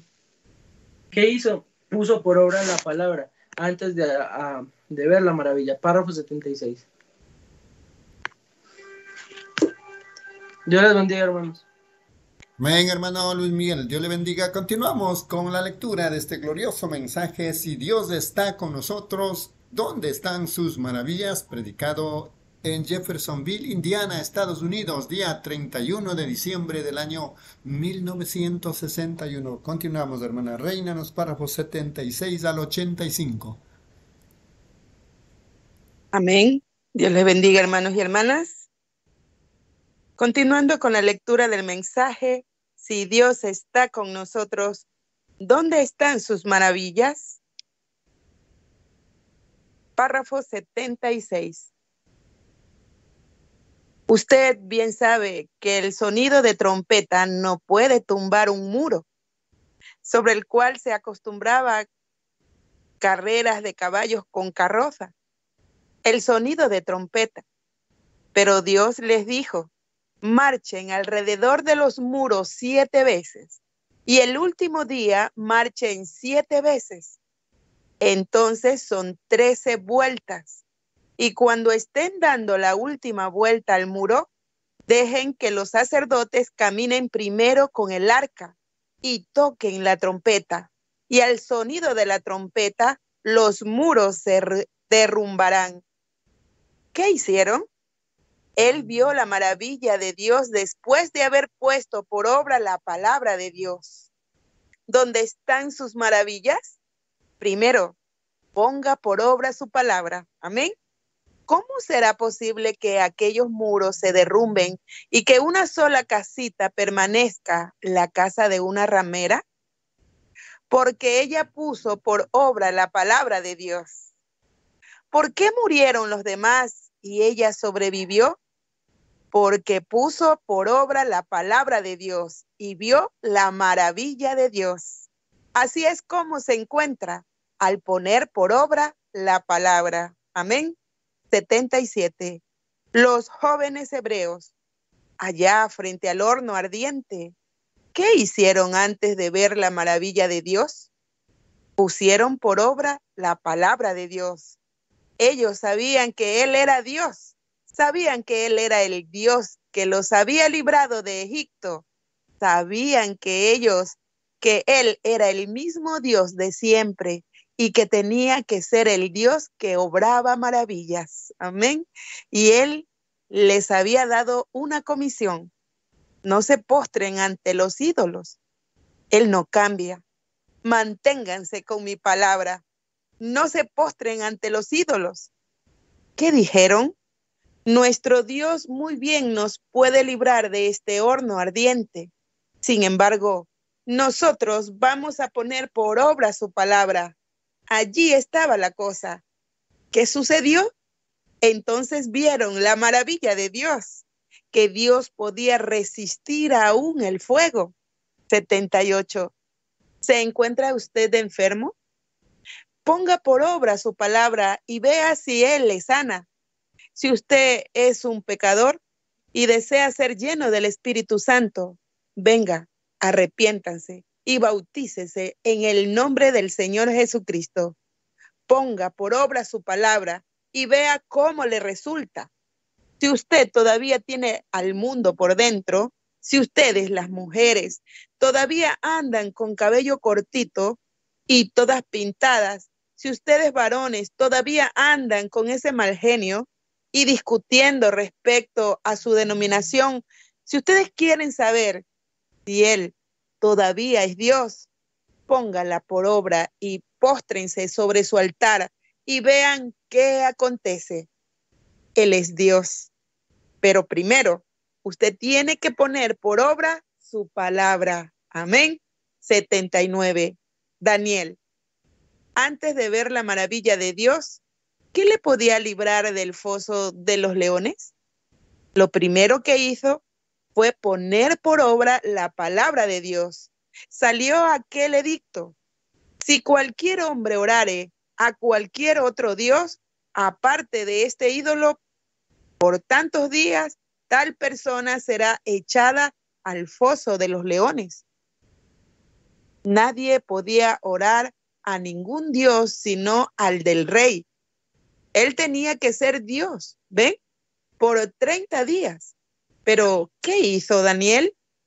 Él puso por obra la palabra de Dios, porque cuando Salomón dedicó el templo, él oró y dijo, Señor, concede que si tu pueblo se hallara en problemas en cualquier parte y miraran hacia este santo templo, entonces tú escucharás desde el cielo.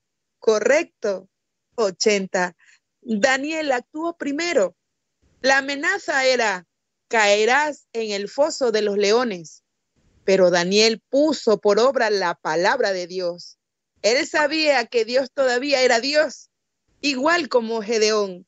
Él sabía que Dios, si todavía era Dios, entonces, ¿dónde estaban sus maravillas? Y Daniel sabía que él era profeta y sabía que amaba a Dios. Él sabía que él era su siervo y sabía que Dios podía librarle de los leones. Pero si él se encontraba en problemas y bajo esa amenaza, él volteó su rostro hacia el templo y oró tres veces al día exactamente. Él puso por obra la palabra de Dios y Dios lo llenó de tal grado con el Espíritu Santo que hasta los leones no se lo pudieron comer. ¿Correcto? Correcto. Él primeramente puso por obra la palabra de Dios. Amén. 81. Jonás, allá en el vientre de la ballena, primero puso por obra la palabra de Dios en cuanto a lo físico, él sabía que no había remedio. Estaba atado de los pies y de las manos. Este predicador a los este predicador a los gentiles había sido tirado del barco en alta mar y cayó en el vientre de la ballena y ahora estaba en lo más profundo del mar. Ahora, ¿en qué condición estaba? Pero primero, él se volteó allá en lo profundo de la ballena y tenía algas marinas alrededor del cuello, donde la ballena había estado comiendo estas plantas y demás cosas para nutrirse el cuerpo. Estas eran sus vitaminas y ahora se habían tragado un predicador. Pero el predicador se volvió en sí. Aleluya. Oh, hermano predicador, vuelva en sí esta noche apártese de todos esos credos y demás cosas y vuelva a un Dios vivo, a una palabra viva. Amén. 82. Él volvió en sí y se enderezó. No se puede apartar a un santo de su oración. Él se enderezó y miró que a todo lado era estómago de la ballena, al este, al oeste, al norte y al sur. Él se dio cuenta que estaba en el vientre de la ballena y estaba en lo profundo del mar y arriba en la superficie del mar había una tormenta. Cuando estaba en el barco no había esperanza y ahora estaba en el vientre de la ballena, mucho más alejado de la esperanza. Y cuando no pudo ver nada más que vientre de ballena, clamó y dijo, vanidades ilusorias son estas y ya no las creeré más. Pero Señor, miraré hacia tu santo templo. El santo templo no se encontraba mirando hacia abajo.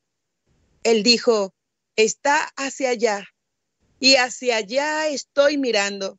83. Luego vio la maravilla de Dios. De alguna manera oxigenó entre, entró, oxígeno entró en la ballena y él respiró normalmente por tres días y se paseó y se recuperó para poder aguantar el viaje de 40 días hacia la pecaminosa ciudad y predicarles el Evangelio. Se refrescó con oxígeno nuevo del cielo. No podía proceder de la ballena y no podía proceder del mar. Así que tenía que venir de Dios. Oh Señor, sopla sobre nosotros esta noche el oxígeno de la palabra de Dios en el poder de su resurrección, para que podamos continuar vivos en este último día malvado. Respira sobre nosotros, Espíritu Santo. Así es, hermano. Respira, Señor, y llénanos con ese oxígeno. 84. Como les conté hoy en la mañana del patito, cuando por primera vez él olió el agua, nada lo podía detener, ni todo el cloqueo de las gallinas, ni nada más. Él se dirigió directamente hacia el agua por cuanto era pato. Ahora, si entre ustedes hubiera alguno con naturaleza de pato, aquí tenemos un bautisterio muy grande. ¿Ven? Si usted puede oler, si usted percibió un olor que Dios todavía es Dios, si usted percibió un olor desde el cielo esta noche, que Dios cumple su palabra y que Él es un Dios que hace maravillas y usted aún no ha recibido el Espíritu Santo, huela el agua. Es el primer paso que Él ha mandado, ¿cierto? Arrepiéntase desde lo profundo de su corazón y póstrese como sacrificio sobre el altar y usted será vaciado del mundo y será renacido del Espíritu y bautícese en el nombre de Jesucristo y Él le llenará con el Espíritu Santo. Pase por el proceso correcto.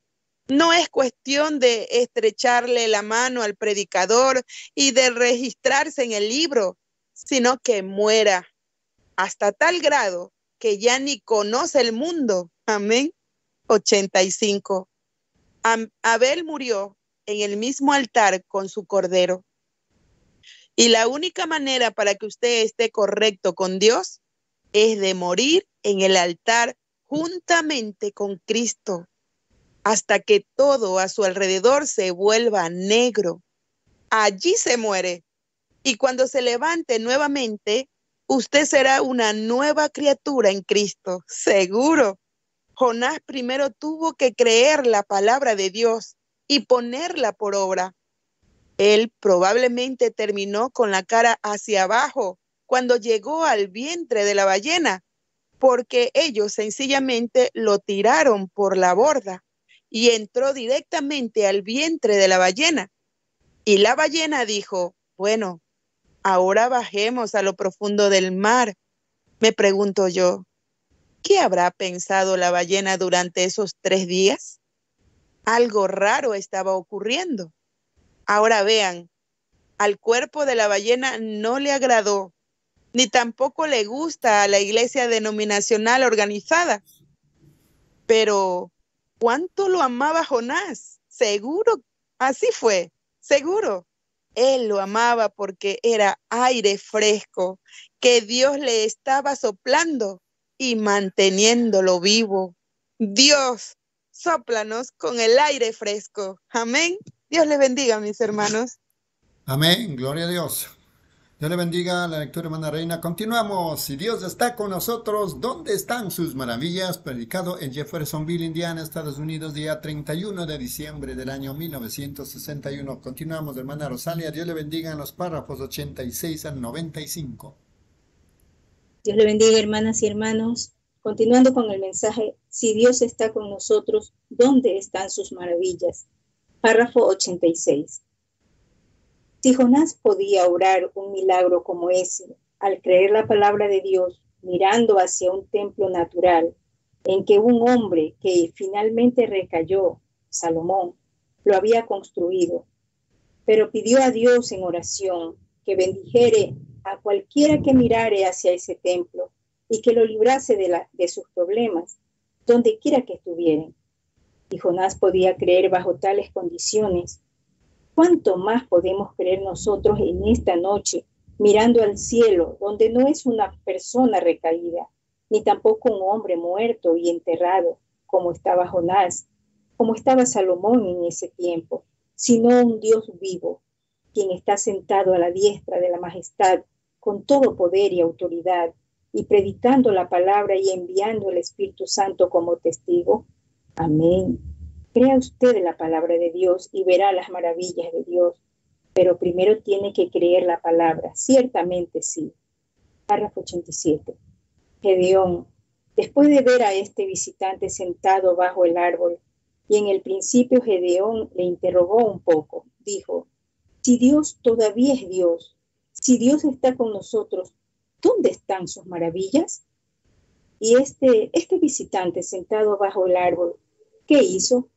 Cuando él tocó el sacrificio con la vara que traía en la mano, el sacrificio fue consumido y él sabía que esa era la obra de Dios.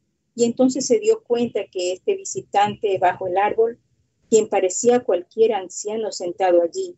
En verdad era la palabra hecha carne. Aleluya. Era la palabra viviente. Él sabía que era la palabra viviente porque estaba actuando y viviendo en el tiempo presente. Gloria a Dios, hermano.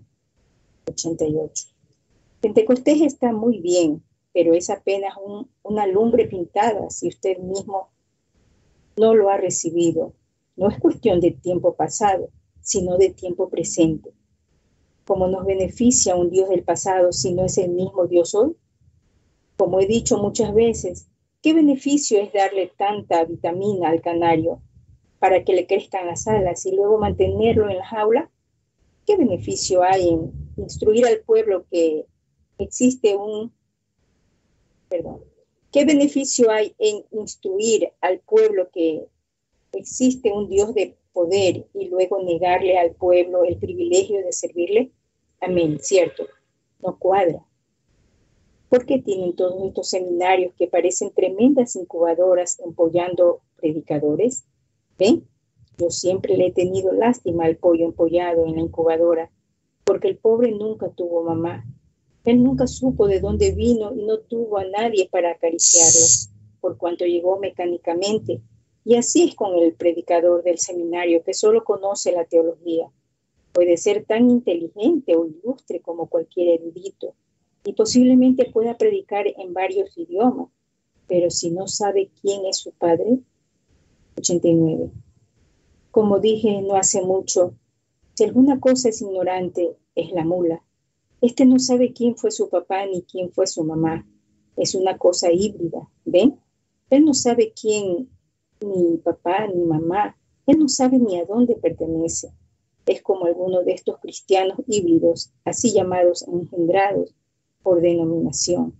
Pero un buen caballo de sangre pura tiene ascendencia y conoce bien, y un buen cristiano de sangre pura conoce a dónde está el, almacén de Dios.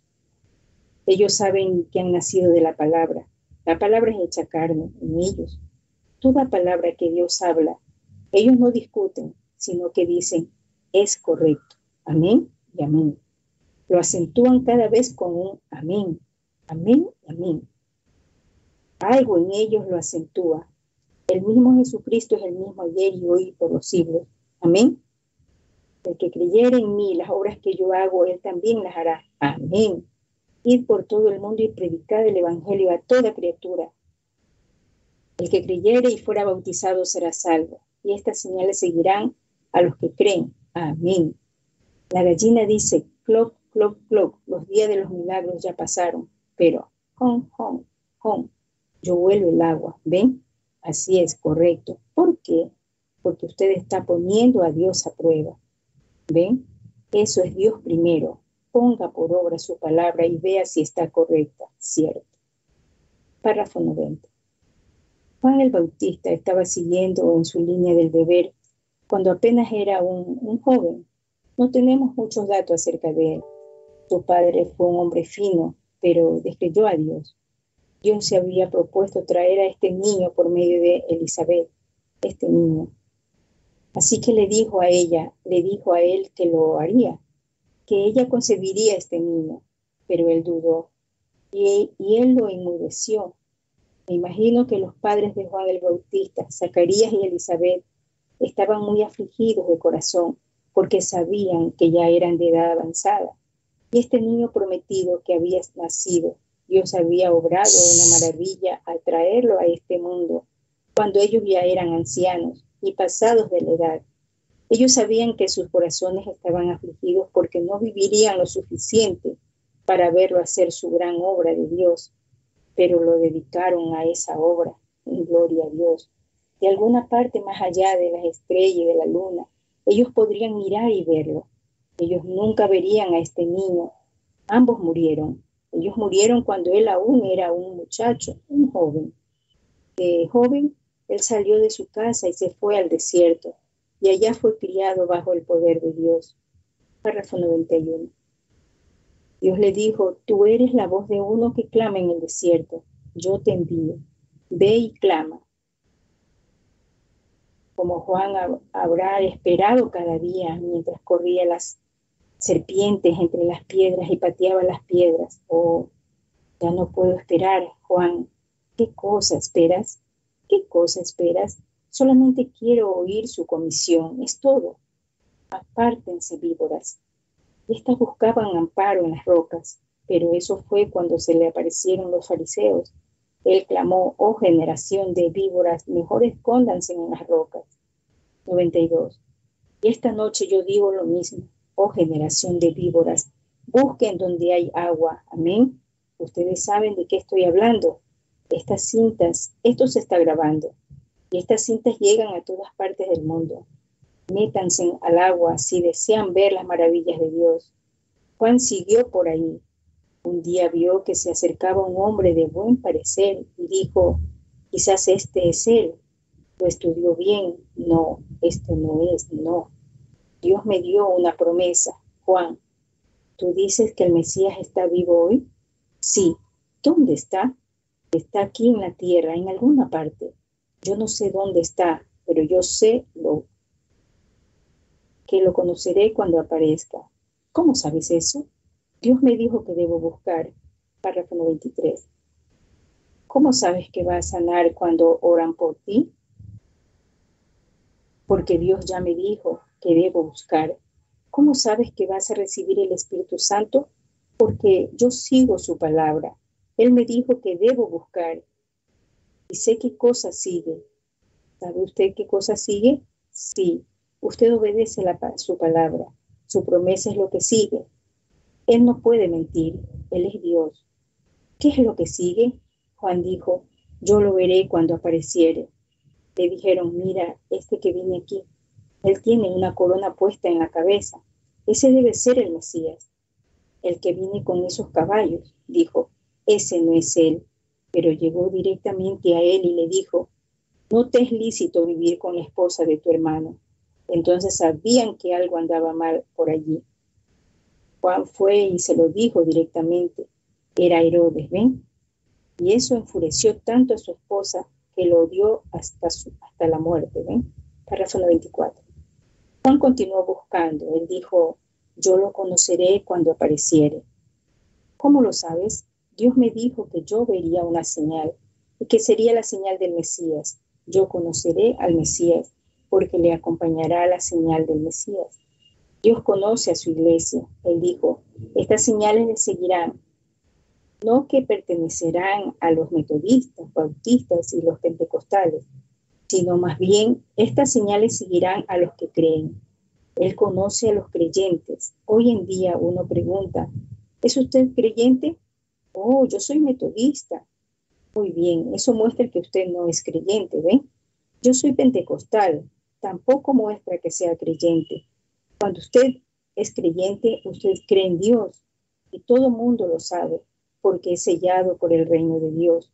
Y un sello se pone por ambos lados de la página, yendo y viniendo. ¿Ven? Se conocen. Párrafo 95. Muy bien, él dijo, yo lo conoceré cuando aparezca, porque habrá una señal. Yo veré la señal del Mesías. Un día él vio, oh hermano, ¿por qué?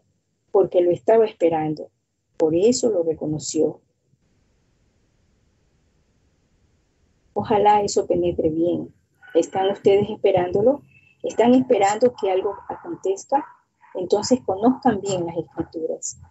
Amén, hermanos. Dios les bendiga. Amén, hermana Rosalía. Dios le bendiga la lectura. Continuamos y para finalizar con este glorioso mensaje, si Dios está con nosotros, ¿dónde están sus maravillas? Este mensaje fue predicado en Jeffersonville, Indiana, Estados Unidos, el día 31 de diciembre del año 1961. Hermana Edith, por favor, en los párrafos 96 al 105. Dios les bendiga, hermanos y hermanas. Continuando con el mensaje, si Dios está con nosotros, ¿dónde están sus maravillas? Párrafo 96. Ahora, todos aquellos sacerdotes parados por ahí tenían cinco veces la inteligencia de Juan. No tenemos registrado que haya asistido a la escuela ni un solo día, pero allí había sacerdotes cuyos tatarabuelos también fueron sacerdotes. Allí habían hombres que conocían cada pulgada de los pergaminos, todos los profetas y Génesis y todo acerca de eso. Pero vean, Juan estaba buscando una señal, Mesías. Él sabía que si ese era Dios, entonces habría algo sobrenatural al respecto, correcto. Así también es hoy. Si usted es cristiano, algo sobrenatural le ha tocado. Y si no le ha tocado, entonces usted está engañado.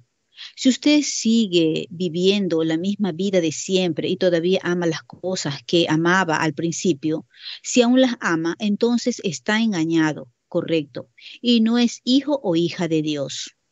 97. Entonces hallamos que Juan estaba parado allí un día y dice, como leía yo hace poco una historia de él, decía que Juan estaba de un lado del río y al rato ya lo tenían empujado del otro lado. Y así es como hacen con todo siervo de Dios. Lo votan de toda denominación y de toda organización y de todo. Él no tenía público, pero estaba parado en el lodo hasta las rodillas. Tampoco tenía traje fino, con el cuello al revés. No, señor. Estaba vestido más bien con una piel de cordero, y no cabe duda que parecía un hombre salvaje parado allí. 98. Y aquellos sacerdotes le preguntaron, ¿Nos quiere decir que llegará el día cuando nuestro gran templo y nuestra gran organización serán destruidos? Él les dijo, seguro que sí. ¿Y tú, cómo lo sabes? ¿Cómo leen ustedes las escrituras? El Mesías viene y este Mesías quitará el continuo sacrificio. Así dijo Daniel, así dijo el profeta. Aleluya. Oh, me estoy sintiendo aún más religioso, pero tengo que parar. ¿Cómo lo sabes? Porque el profeta lo ha dicho. Así fue también que Micaías sabía que no podía bendecir a Cat, porque Elías ya lo había maldecido. Eso era todo. Él tenía que mantenerse con la palabra. Y si usted quiere ver las obras de Dios, usted tiene que seguir la palabra de Dios. Él sabía que no podía suceder. 99. Entonces, ¿qué pasó? Él deseaba ver las obras de Dios. Juan dijo, yo lo conoceré cuando venga. Un día él estaba parado allí y dijo, si llegará el día cuando cesará el continuo sacrificio, porque el Mesías mismo será ese sacrificio continuo y entrará la abominación desoladora. Rabí, ¿de dónde sacas tales cosas? Eso es contrario a nuestro credo, pero no era contrario a la palabra de Dios. Allí estaba el profeta y la palabra del Señor estaba con ese profeta, correcto. Y entonces dijo que, he aquí, allí está parado el Cordero de Dios, que quita el pecado del mundo. Era un hombre ordinario, pequeño, con los hombros caídos, y venían caminando hacia el río, caminando con Lázaro. Era un hombre muy ordinario, vestido como cualquiera. No era sacerdote, no traía turbante, ni corona, nada. Apenas era un joven pobre, un carpintero, con las manos llenas de astillas, quizás, Llego caminando. ¿Nos quieres decir que, qué? ¿No lo pueden ver allí?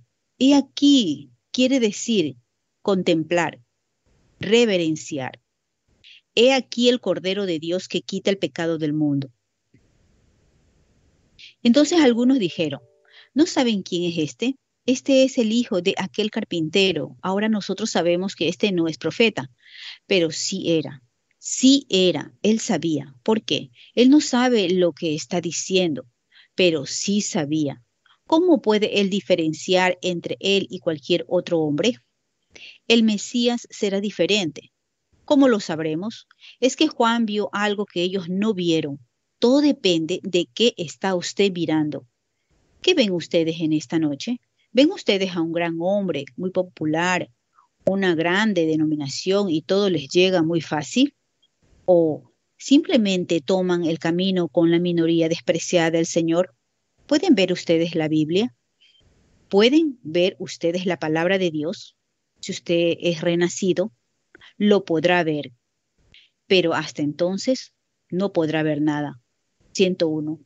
He aquí venía, él dijo, el que me dijo allá en el desierto, oh hermano, el que me dijo que clamara, y aquí he estado clamando por estos seis meses y aún de noche, por todos lados, a lo largo de este Jordán, hasta las rodillas en este lodo, discutiendo con ustedes predicadores, dándoles patadas a sus denominaciones y pisándoles los callos.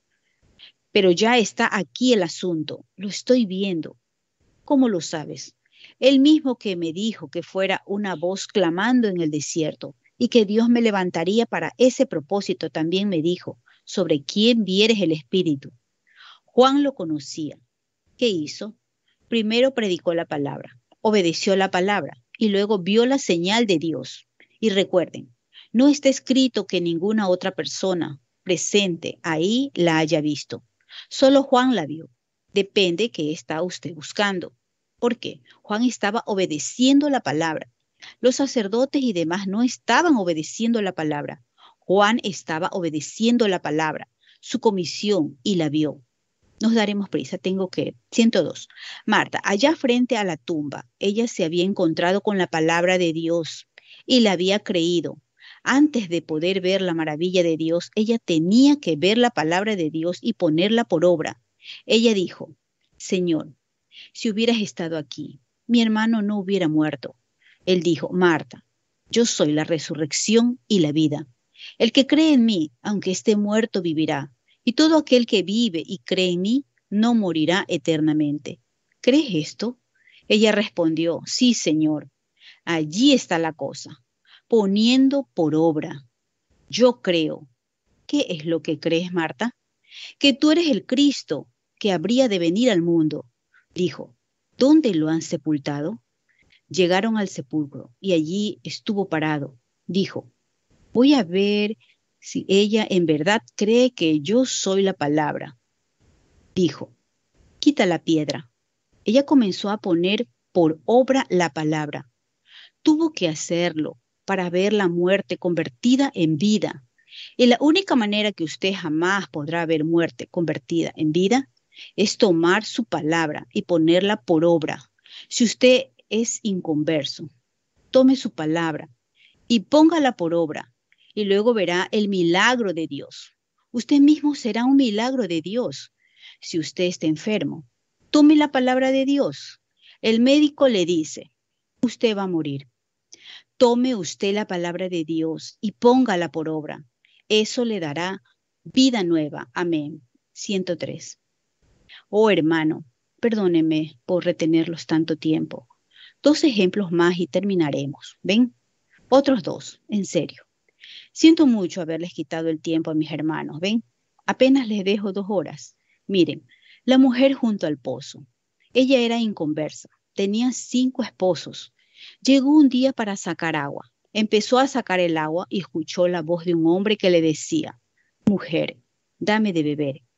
Ella lo miró y dijo, no se acostumbra que los judíos hablen con los samaritanos. Yo soy una mujer de Samaria y no se acostumbra. ¿Por qué me hablas a mí? Él le dijo, pero si supieras con quién estás hablando, pedirías a mí algo de beber. Pero, dijo ella, el pozo es muy hondo y no tienes con qué sacar. Dijo, ¿cómo? ¿Cómo vas a sacar para beber? Y él dijo, el agua que yo doy será una fuente, un manantial que sale del alma. Ella dijo, un momentito, tú eres judío y adoras en Jerusalén, y nuestros padres adoran en este monte. Él dijo, créeme, la hora viene, y aún ahora es, cuando ni en Jerusalén ni en este monte habréis de adorar. Dios es espíritu, y los que le adoran, le adoran en espíritu. No cabe duda la mujer habrá pensado, un momento, ¿quién es este tipo? Él deseaba que ella conociese quién era, porque a ella le tocaba introducirlo a los samaritanos. Ella dijo, ¿quién es él? Él habló con ella por unos momentos y de repente dijo, mujer, ve llama a tu marido y ven acá. Y ella dijo, este sí es un presuntuoso, ¿ven? Ella dijo, pero yo no tengo marido. Ajá, allí fue cuando la vara tocó el sacrificio. ¿Ven? Algo sucedió. ¿Qué pasó? Ella vio el milagro de Dios. Él dijo, has dicho la verdad porque has tenido cinco y con el que vives ahora no es tu esposo. Así que has dicho la verdad. 105. Ella se volteó, ella sabía que para el pueblo Dios había muerto muchos años atrás. Los sacerdotes y rabinos y demás, ellos hablaban de un Dios, pero también había promesa en la Biblia de uno que venía. Entonces ella dijo, Señor, me parece que tú eres profeta. Ven, nosotros sabemos que ha de venir el Mesías. Quiero estar segura de esto. Nosotros sabemos que ha de venir el Mesías. Le diré esto y veré qué me responde. Ningún hombre que no conoce a Dios no me podría decir eso. Nosotros sabemos que ha de venir el Mesías, llamado el Cristo, y cuando Él venga, esto es lo que Él hará. Cuando venga, lo estamos esperando. Él dijo, yo soy. Con eso fue suficiente, más que suficiente. Ella corrió a la ciudad y dijo, vengan y vean un hombre que me ha dicho las cosas que he hecho. Antes que ella pudiera traer ese mensaje, primero tuvo que ver el milagro de Dios. Y antes de ver el milagro de Dios, tuvo que tomar a Dios en su palabra. Exactamente correcto. Oh, cómo pudiéramos continuar. Veamos un caso más. Amén. Dios les bendiga, hermanos. Amén, hermana Dios le bendiga. Continuamos y finiquitando este mensaje. Si Dios está con nosotros, ¿dónde están sus maravillas? Mensaje predicado en Jeffersonville, Indiana, Estados Unidos, día 31 de diciembre del año 1961. Hermana Margarita, por favor, en los párrafos 106 al 115.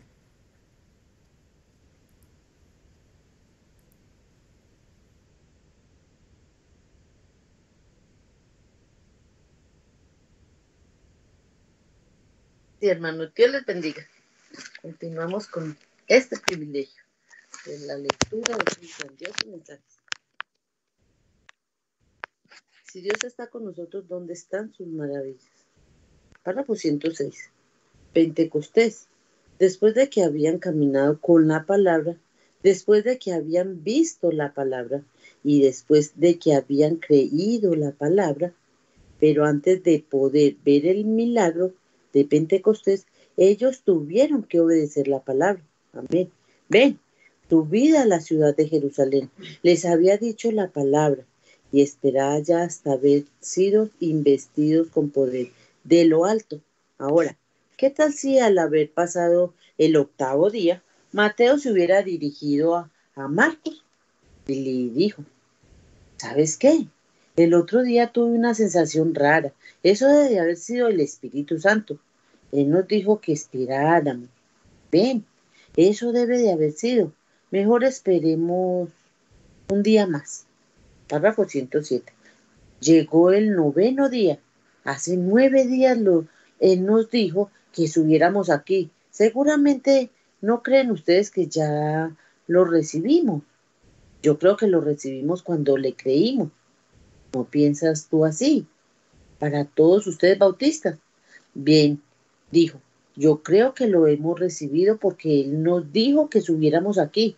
Y, ¿saben? Creo que yo, yo creo que tan pronto como subimos, en esa ya obedecimos lo que Él nos dijo. Pero, ¿qué fue lo que Él, lo que nos dijo? No dijo, cuando lleguen allá, en ese momento lo recibirán. Tampoco dijo, esperen cinco días o nueve días, pero dijo, hasta. Así es. Los que esperan en Jehová, sus fuerzas renovarán. Párrafo 108. ¿Qué hay que hacer? Aceptar su palabra, ponerla por obra y mantenerse firme. Aleluya. Permítanme, repito el párrafo 108. ¿Qué hay que hacer? Aceptar su palabra, ponerla por obra y mantenerse firme. Cada día uno tiene que pararse frente a frente con Satanás, con la palabra.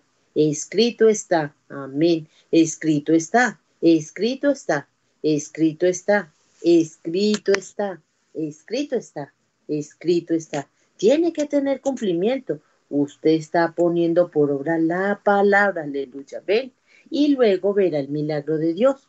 Correcto, pero primero tiene que ponerla por obra. Ellos subieron allá y obedecieron la palabra. Se quedaron. Llegó el noveno día y puedo oír a Pedro decir, ¿saben qué? ¿Saben qué? ¿Qué piensan ustedes, hermanos?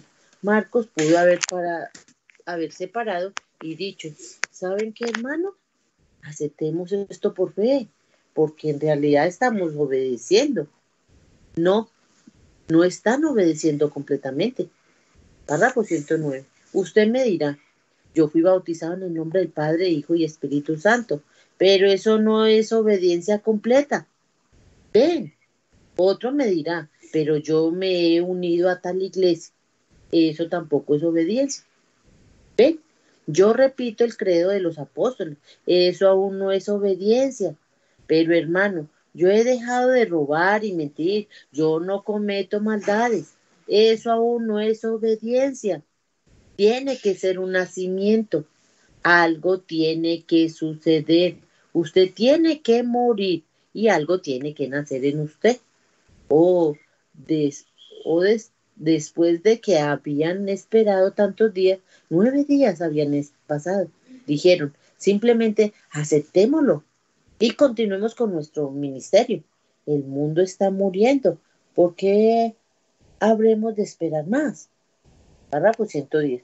Puedo oír a Pedro decir, pero sabe, algo me dice que la cosa no está bien todavía. Eso no es obedecer exactamente la palabra. Vean, si esperamos ver el milagro que Dios nos ha prometido de enviar la promesa del Padre, del Padre sobre nosotros, tenemos que esperar aquí hasta que algo suceda, porque la escritura declara que vendrá en esta forma. Joel dijo, derramaré mi espíritu sobre toda carne, y profetizarán vuestros hijos y vuestras hijas, y también sobre mis siervos y sobre mis siervas derramaré de mi espíritu, y daré prodigios en el cielo y la tierra. Isaías el profeta dijo, porque en lengua de tartamudos y en extraña lengua hablaré a este pueblo. Y este es el refrigerio, este es el reposo, da reposo al cansado, y esto es el refrigerio, mas no quisieron oír.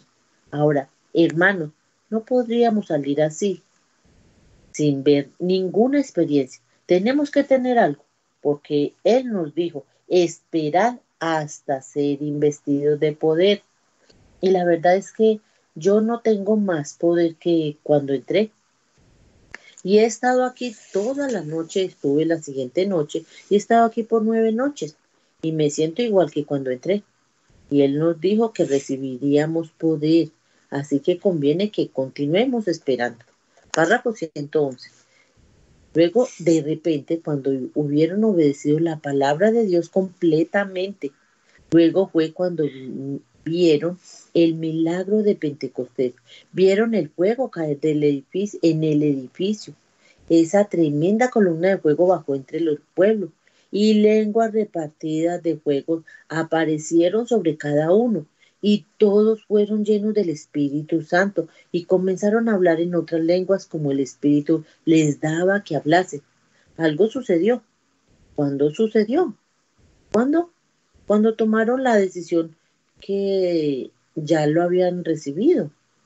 No, cuando hubieron obedecido cabalmente la palabra de Dios, entonces vieron el milagro de Pentecostés. Así es hoy. Uno tiene que hacer la misma cosa. Amén. Párrafo 112. Ahora, amigos, en verdad voy a cerrar con esto. No voy a voltear otra página más. Muy bien. el siguiente nombre que se, que se aliste cuando yo diga esto. Ahora, aunque llamado, aunque llamado de todo lo que podría ser llamado mal, tanto rodador, pentecostal, rompe iglesias, hipócrita, Belcebú, Señor, de todo lo que pudieran decir de nosotros, nos dicen, pero ¿qué hacemos? ¿Qué nos, qué nos llaman? Señor, soñador, Belcebú, falso profeta, solo Jesús, todo lo demás que pudieran llamarnos, todo lo malo que pudieran decir, pero al creer la verdadera palabra de Dios, su verdadero profeta de la palabra, ¿qué hacemos nosotros? Va, vemos las cosas que vemos. Párrafo, espacio en la cinta en blanco, párrafo 114, ya adelantado. Él regresará, si viene el Salvador, señales abundan hoy, cumpliéndose ya están. Por su gracia listo estoy, le espero sin más afán. Muy pronto Jesús vendrá y él viene, no tardará. Él ha de venir, él descenderá del cielo. El rey vendrá, despierte, despiértate pecador. El tiempo es corto ya. Viene pronto el Salvador. No sabes cuándo será. ¿Por qué? Estamos poniendo por obra su palabra. Aleluya, amén. Llamémoslo lo que llámenlo lo que quieran. Nosotros vemos la señal del Mesías en nuestro medio. Vemos la columna de fuego. No se puede negar que nos llamen lo que quieran. Dios está aquí. La ciencia lo ha fotografiado. ¿Por qué? Obedeciendo su palabra. Nunca se ha logrado en toda la historia. Sin embargo, el ojo mecánico de la cámara ha mostrado que él es que es él. Hay una luz que pegó en el lente. ¿Por qué?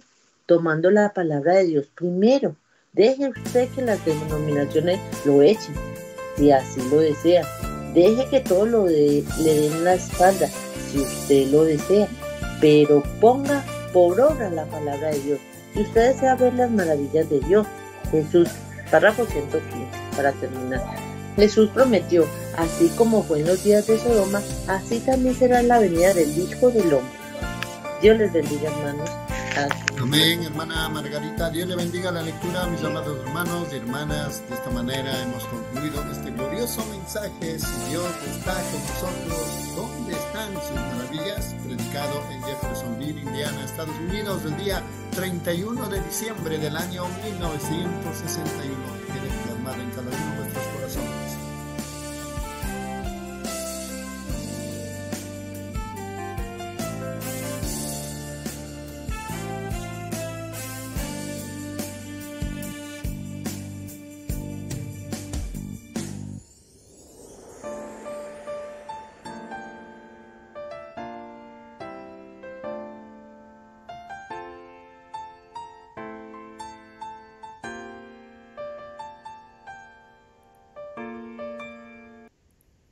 Amén, hermanos y hermanas. Es realmente para nosotros un grande privilegio de continuar con este glorioso compañerismo. Esta es la lectura de estos mensajes de nuestro profeta Elías William Marion Branham. Nuestro siguiente mensaje, y pasamos ya al año 1962, se titula Presumiendo, predicado en Fines, Arizona, Estados Unidos, el día 17 de enero del año 1962. Iniciamos este nuevo mensaje. Párrafos 1 dice, tener este tiempo de compañerismo con ustedes, lejos de, este, de ese norte congelado del que acabo de salir. Le dije a su pastor en su estudio esta tarde, esta va a ser una de las reuniones más grandiosas que jamás haya visto. O yo erré en la voluntad del Señor. Satanás no había peleado tan fuerte contra mí como lo hizo viniendo yo aquí.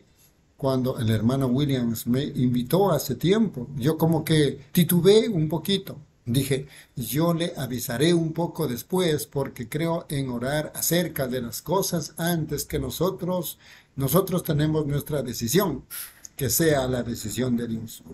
Párrafo 2. Y continuaba sintiéndome guiado a venir porque era el tiempo.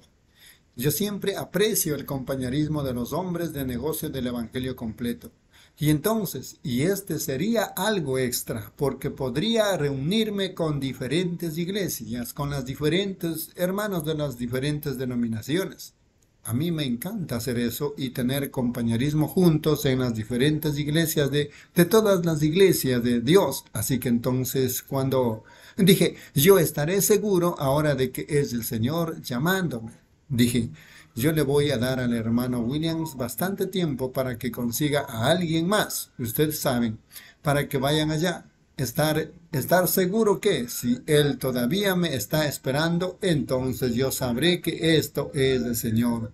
Y si todos los hermanos dicen que quieren que vaya, dije, Padre Celestial, yo tomaré eso por sentado, que, que tú quieras que yo vaya a fines.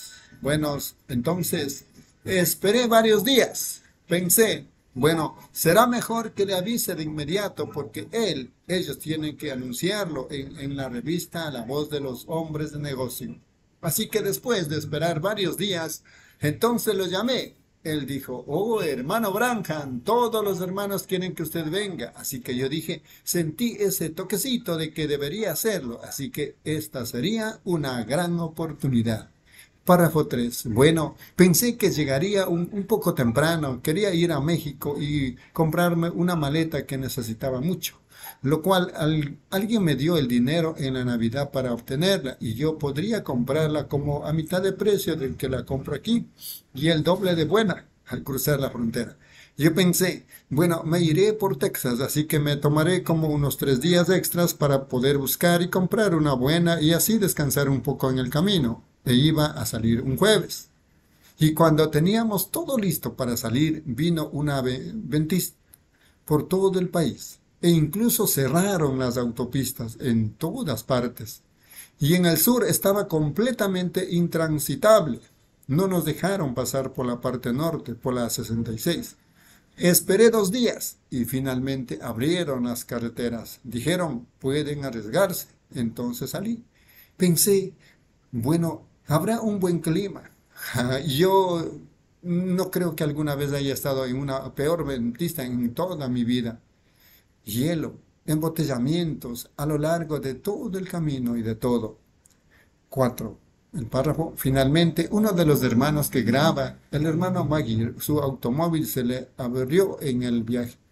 Nosotros íbamos viajando y estábamos teniendo una terrible, yo pienso que sencillamente dejó de funcionar, no creo que se averió, simplemente dejó de funcionar, ¿ven? Y entonces él obtuvo un generador y el automóvil no funcionaba. Él volvió a intentarlo y no funcionaba. Lo llevó a otro taller y no funcionaba.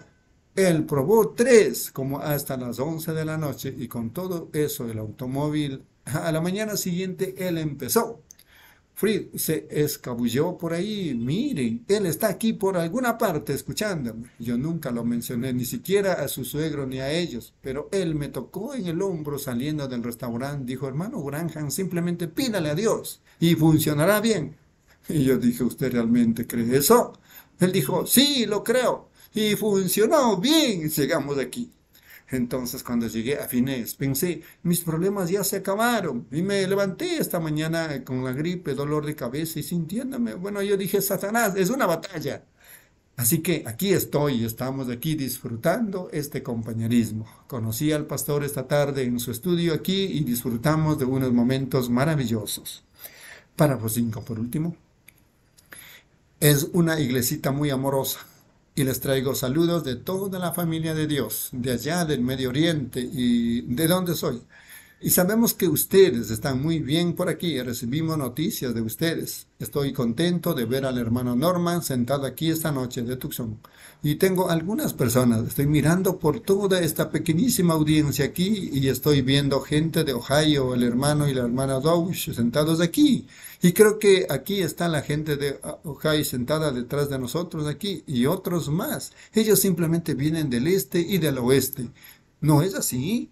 de todas partes, reuniéndose, así que estamos contentos de estar aquí. Y ahora estamos esperando con anticipación las noches que están programadas para que hablemos en las diferentes iglesias. Pienso que mañana en la noche estaremos en Tem. ¿No es así? Un hermano dice así, en Temple. Y luego la noche siguiente pienso que con el hermano Outa, el hermano Uta, eso es la, la 20 y la Roosevelt, calle 20 y la Roosevelt. Luego en otras más y los Amén, mis amados hermanos y hermanas, es realmente un privilegio para nosotros conocer estos mensajes. Estamos lecturando e iniciamos un nuevo año y un nuevo mensaje titulado Presumiendo, predicado en Fines, Arizona, Estados Unidos, el día 17 de enero del año 1962. Para continuar con la lectura, hermano Luis Miguel en, en los párrafos 6 al 10.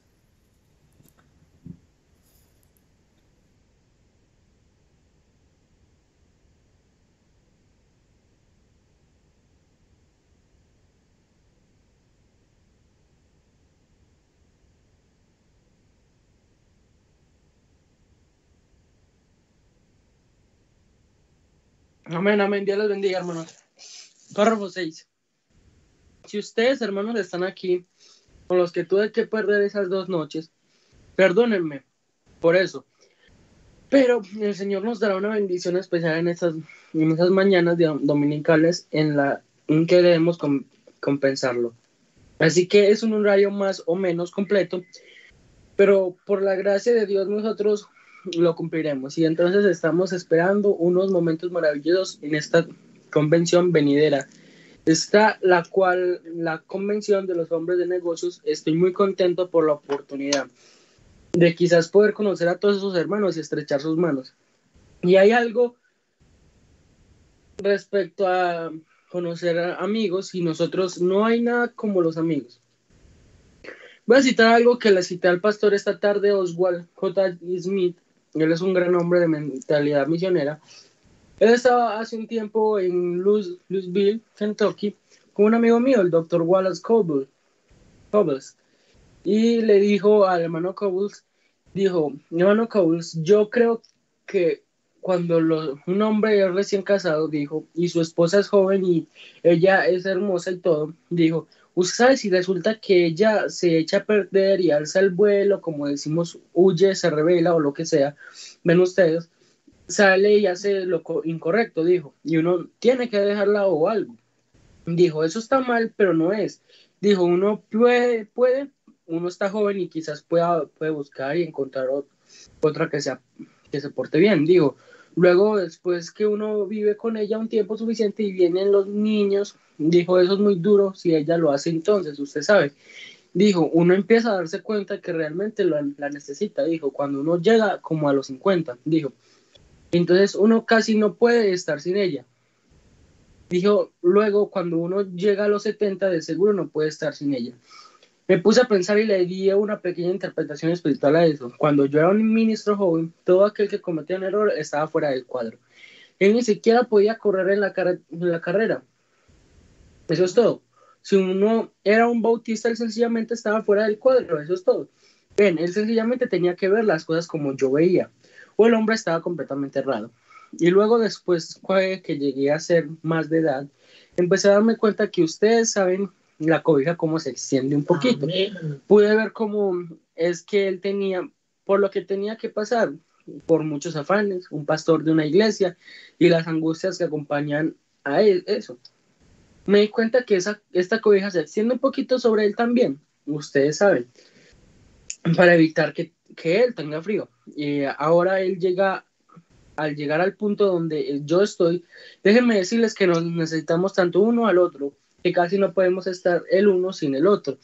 Esa es toda la verdad del asunto.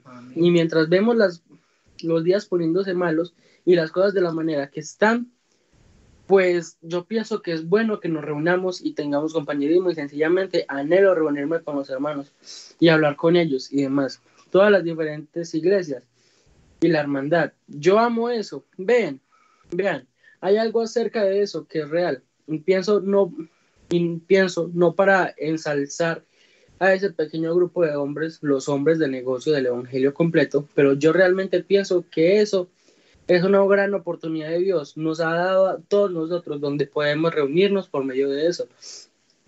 Y así tener compañerismo. ellos nos trazan líneas en cuanto a ciertas denominaciones y demás, y nosotros podemos reunirnos en lugares celestiales en Cristo. Ahora, comprendo que no va a ser perfecto. Ellos van a cometer muchos errores. Yo veo los de ellos y ellos ven los míos. Y ustedes ven los míos y yo veo los de ustedes. Y pero tenemos que convivir los unos con los otros y tenemos que darnos cuenta. Pero pienso que después de todo, si todo, si todo se investiga por lo que a mí respecta, son lo mejor de la cosecha. Ven, eso es correcto. Es esto, párrafo 10. Yo escogí el Evangelio completo hace mucho tiempo, hace muchos años, y cada día estoy más contento al respecto. Y estoy agradecido por ser uno de ellos y tener esta gran experiencia de recibir a Cristo como mi Salvador. Y a cambio, Él llenarme con su Espíritu Santo y, Él viviendo diariamente en mi corazón como un testigo para mí, que he pasado de muerte a vida probando mi plan, mi salvación. Cada día a medida que tomo tomo inventario, averiguar la condición del, del espíritu en mí. ¿Cómo se siente? ¿Cómo encaja con las cosas del mundo? ¿O es tan fijo en lo celestial con el mundo? Parece aburrido y sucio e inmundo. Para, párrafo 11. Dios les bendiga, hermano. Amén, hermana Luis Miguel. Dios le bendiga la lectura. Continuamos con este glorioso mensaje de este nuevo año 1962, presumiendo, predicado en Phoenix, Arizona, Estados Unidos. Hermana Rosalia, en los párrafos 11 al 15. Amén, hermano. Continuando con el mensaje presumiendo, del 17 de enero de 1962, párrafo 11. Estaba pasando por esta calle. Yo vine aquí por primera vez hace 35 años este año en 1926 en un foro antiguo, modelo T. Vivía en la calle 16 y la Ensau. Creo que aún han cambiado el nombre. Ahora es Bukengo. Así que todo está cambiando, pero reconozco el lugar antiguo. Ustedes saben, yo andaba a caballo por todo el valle allí, el río Salado y por toda esa área. Bueno, ellos tenían burros allá al otro lado de la montaña, burros salvajes, ¿ven? y los exploradores venían, vaya, todavía vienen exploradores, pero ellos vienen en Cadillacs. Así que eso todavía es lo mismo. Así que ha cambiado muchísimo. Pero me doy cuenta que el Evangelio no cambia, todavía produce la misma satisfacción. Si regresan al pasado, años tras años se dan cuenta que es el mismo. Es la misma experiencia que ellos recibieron en Pentecostés Después de dos mil años no ha cambiado en lo absoluto. Nosotros obtenemos la misma cosa, ¿ven? Exactamente la misma cosa que se hacía.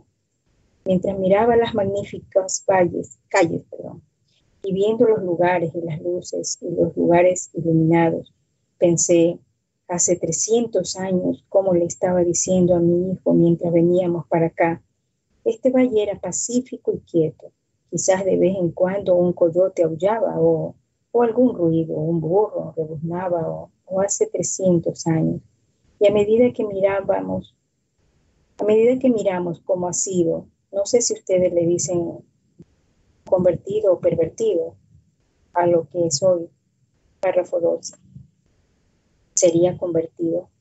Si estas calles fueran andadas de un extremo a otro por gente con sus manos levantadas hacia Dios, alabando a Dios por un valle tan hermoso y por un lugar tan encantador para vivir y por un clima saludable y alabando a Dios en las iglesias, hermanos siendo hermanos y hermanas y demás, siendo una, una gran colonia de la economía de Dios, sería un lugar maravilloso. Pero en lugar de eso hay cantinas, tabernas, prostitución, fumadores de cigarrillos, apuestas, maldiciones, groserías. Me imagino que un día Dios limpiará toda la cosa eso es correcto. Y aquellos que toman su decisión por Él vivirán otra vez aquí en una edad sin fin, ese gran milenio que está por venir. Párrafo 13. Y es mi intención y la razón por la cual estoy aquí en Phoenix esta noche es primero para tratar de tener compañerismo, para fortalecer a la iglesia, para orar por los enfermos y algunos vienen para que se les ore por ellos. No queremos repartir tarjetas de oración y lo demás. Venimos, nosotros haremos todo lo que podamos para ayudar a la gente. Si alguien quiere que se ore por él, La única cosa que tiene que hacer es pedirlo. Y oraremos por ellos. Haremos todo lo que podamos hacer. Me di cuenta ya en casa hace unas semanas que haciendo eso es más allá que cualquier otra cosa. ¿Ven ustedes? Párrafo 14. Y recuerdo la primera vez que vine aquí a Phoenix. Estuvimos allá en la iglesia del hermano Hawthorne. Creo que él fue el primero que me invitó a Phoenix. Y en ese entonces había una iglesia mexicana llamada García, del hermano García. Una iglesita de habla hispana en algún lugar por allí. Qué momentos tan maravillosos disfrutamos allí. Y la gente parada en la fila de oración y siendo sanada simplemente orando y poniendo las manos sobre ellos. El ministerio se ha elevado más. Ciertamente que sí, los dones han sido multiplicados, pero de una manera o de otra, yo quisiera que estuviera como estaba al principio. ¿Ven ustedes? Solo Él, ¿ven? Si yo pienso más que si tan solo olvidáramos algunas de las cosas que aprendimos, pienso que sería mucho mejor. ¿Ven? Bueno, yo creo que el camino hacia Dios es por el sendero de humildad y servicio. Pienso que no hay nada mejor que eso en el mundo para elevarnos en Cristo. Ustedes llegan a ver imitaciones carnales y demás. Los entorpece y les pone algo dentro de ustedes. Yo, yo quisiera que no fuera así, ¿ven ustedes? Nosotros solo, que solo los hizo como que los somete, pienso que los pone en un estado de complejo cuando ustedes no deberían estar allí. Ustedes deberían mantenerse alejados de todas las cosas y seguir adelante. Párrafo 15. Así que yo espero que esto fortalezca nuestro compañerismo el uno con el otro. Luego que Dios sane a los enfermos por los que se orará y sobre todas las cosas que salve a toda alma que puede ser salva yo no sé dónde están o quiénes son. Yo simplemente, simplemente predico. Y los que vengan, trato de ministrar a esos. Y espero que algún día, a través de esa gran eternidad, en un valle pacífico, quizás no el de Maricopa, sino en algún valle pacífico, en alguna parte, viviremos juntos, como vecinos por todas las edades sin fin. Es por eso que estamos aquí. Ahora, muchos están de pie y yo, ustedes son tan amorosos que yo pudiera hablar toda la noche, pero, pero sé que tenemos varios servicios y no quiero tomar mucho tiempo en cada lugar. Pero inclinemos nuestros rostros ahora reverentemente antes que abramos la palabra de Dios y oremos. Amén, hermanos. Dios les bendiga. Amén, hermana Rosalia. Dios le bendiga la lectura. Continuamos, hermana Edith, en los párrafos 16 al 20 de este mensaje, presumiendo. Dios le bendiga, hermanos, continuando con el mensaje, presumiendo. Párrafo 16. Bondadoso Padre Celestial. Verdaderamente es un gran privilegio estar vivos en esta noche, para tener la oportunidad de testificar una vez más ante la iglesia del Dios viviente y como le estaba hablando a esta gente hace unos momentos y pensando en esta gran, enorme y hermosa ciudad, sin embargo cargada de pecado como todas las otras ciudades. Yo estaba pensando, como dijo mi hijo, ¿de qué sirve entonces, papá? Yo dije, hijo, por toda esta ciudad está diseminada la iglesia del Dios viviente. Ese es el grupo que nosotros estamos levantando delante de Dios son esos, esos santos, como Pablo debe haber mirado a Roma con sus muchos miles de habitantes y los diferentes lugares a los que él iba. Y él veía la ciudad entregada a la idolatría, pero había joyas en esa ciudad por las que él tenía que luchar. Ellos estaban descansando allá esperando la resurrección general en el último día, la cual nosotros creemos que está cerca, a la mano. Oramos por toda iglesia en Phoenix, por cada una de ellas. Padre, pedimos que derrames tu espíritu sobre todas ellas, que haya tales luces alumbrando para el Evangelio, a tal grado que opaquen las luces de estos clubes nocturnos y bares. Concédelo, Señor, que los corazones de la gente llegan a estar tan sedientos por ti durante este tiempo de visitación, y que tú verdaderamente nos visites. Señor, Visítanos con tu espíritu y derrámalo sobre nosotros en grandes medidas, Señor.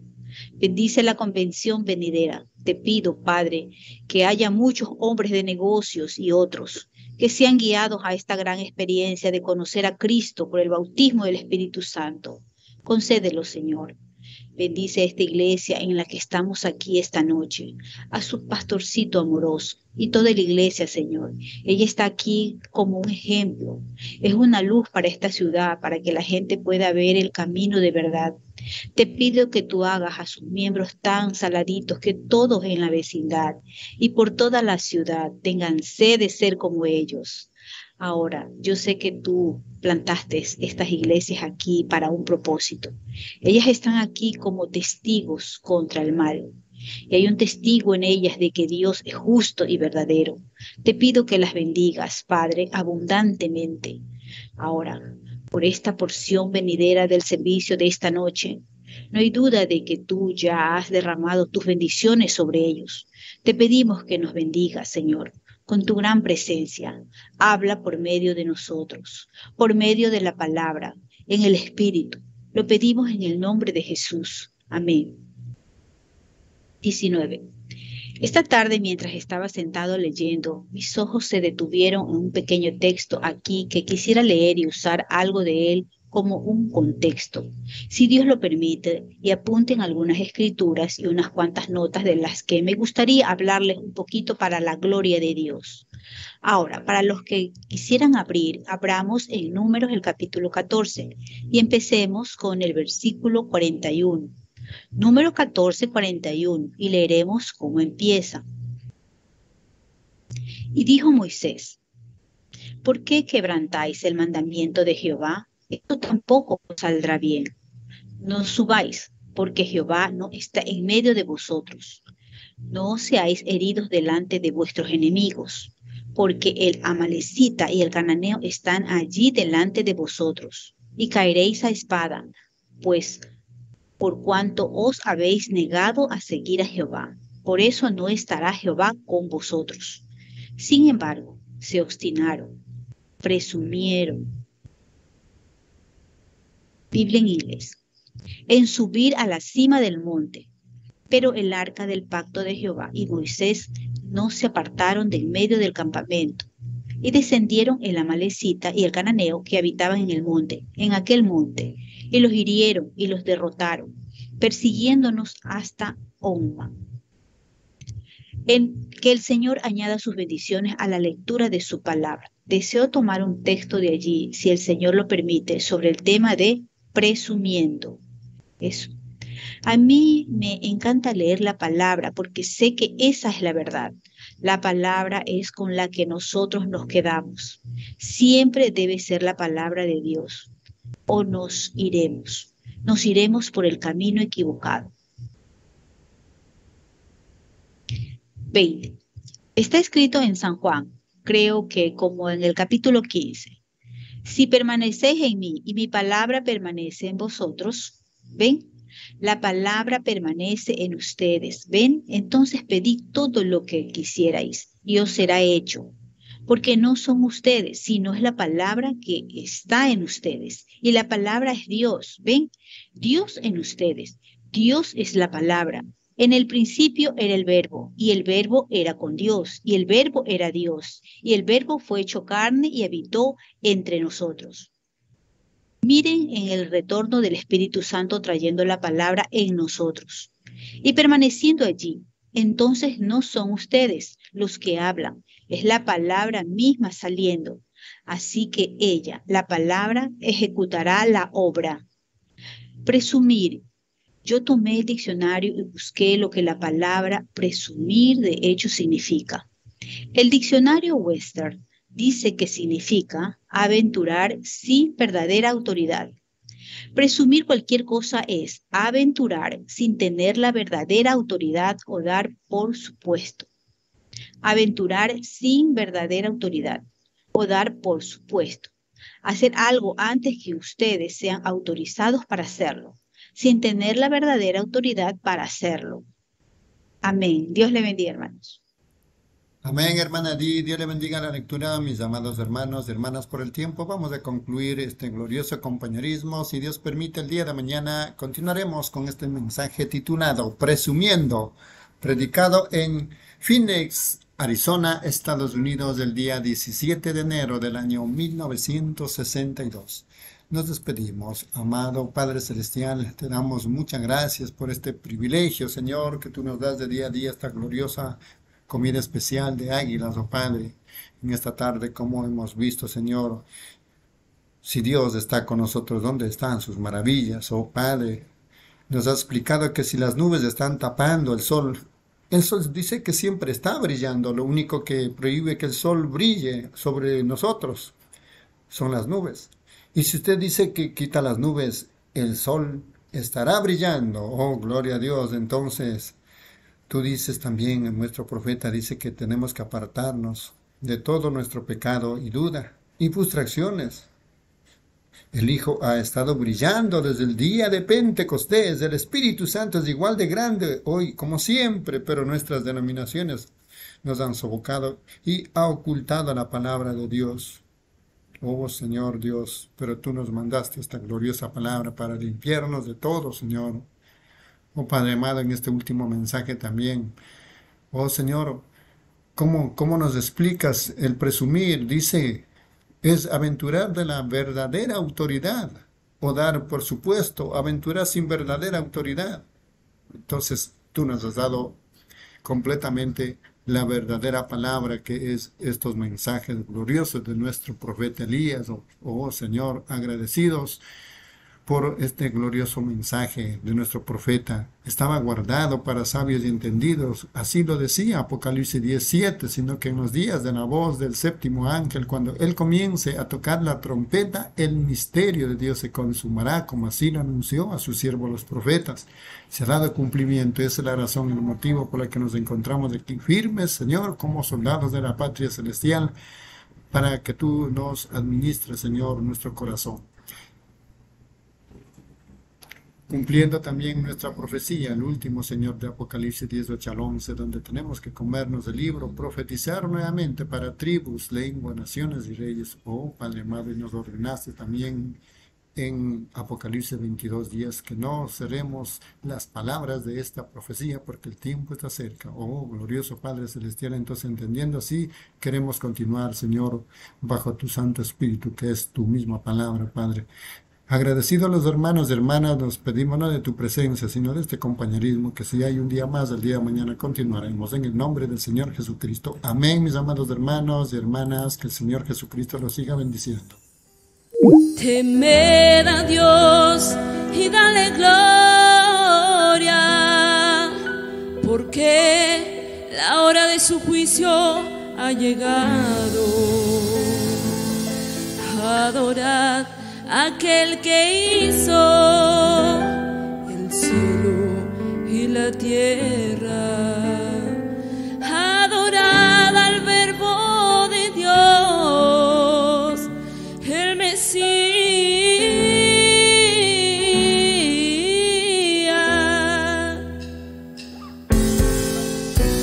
Después del reto del Monte Carmelo Elías llegó a sobre el monte de Dios. Allí clamó, Señor, todos han dejado tu palabra. Entonces se el misterio de la séptima Después del reto del monte Carmelo, Elías llegó a sobre el monte de Dios. Allí clamó, Señor, todos han dejado tu palabra. Entonces se el misterio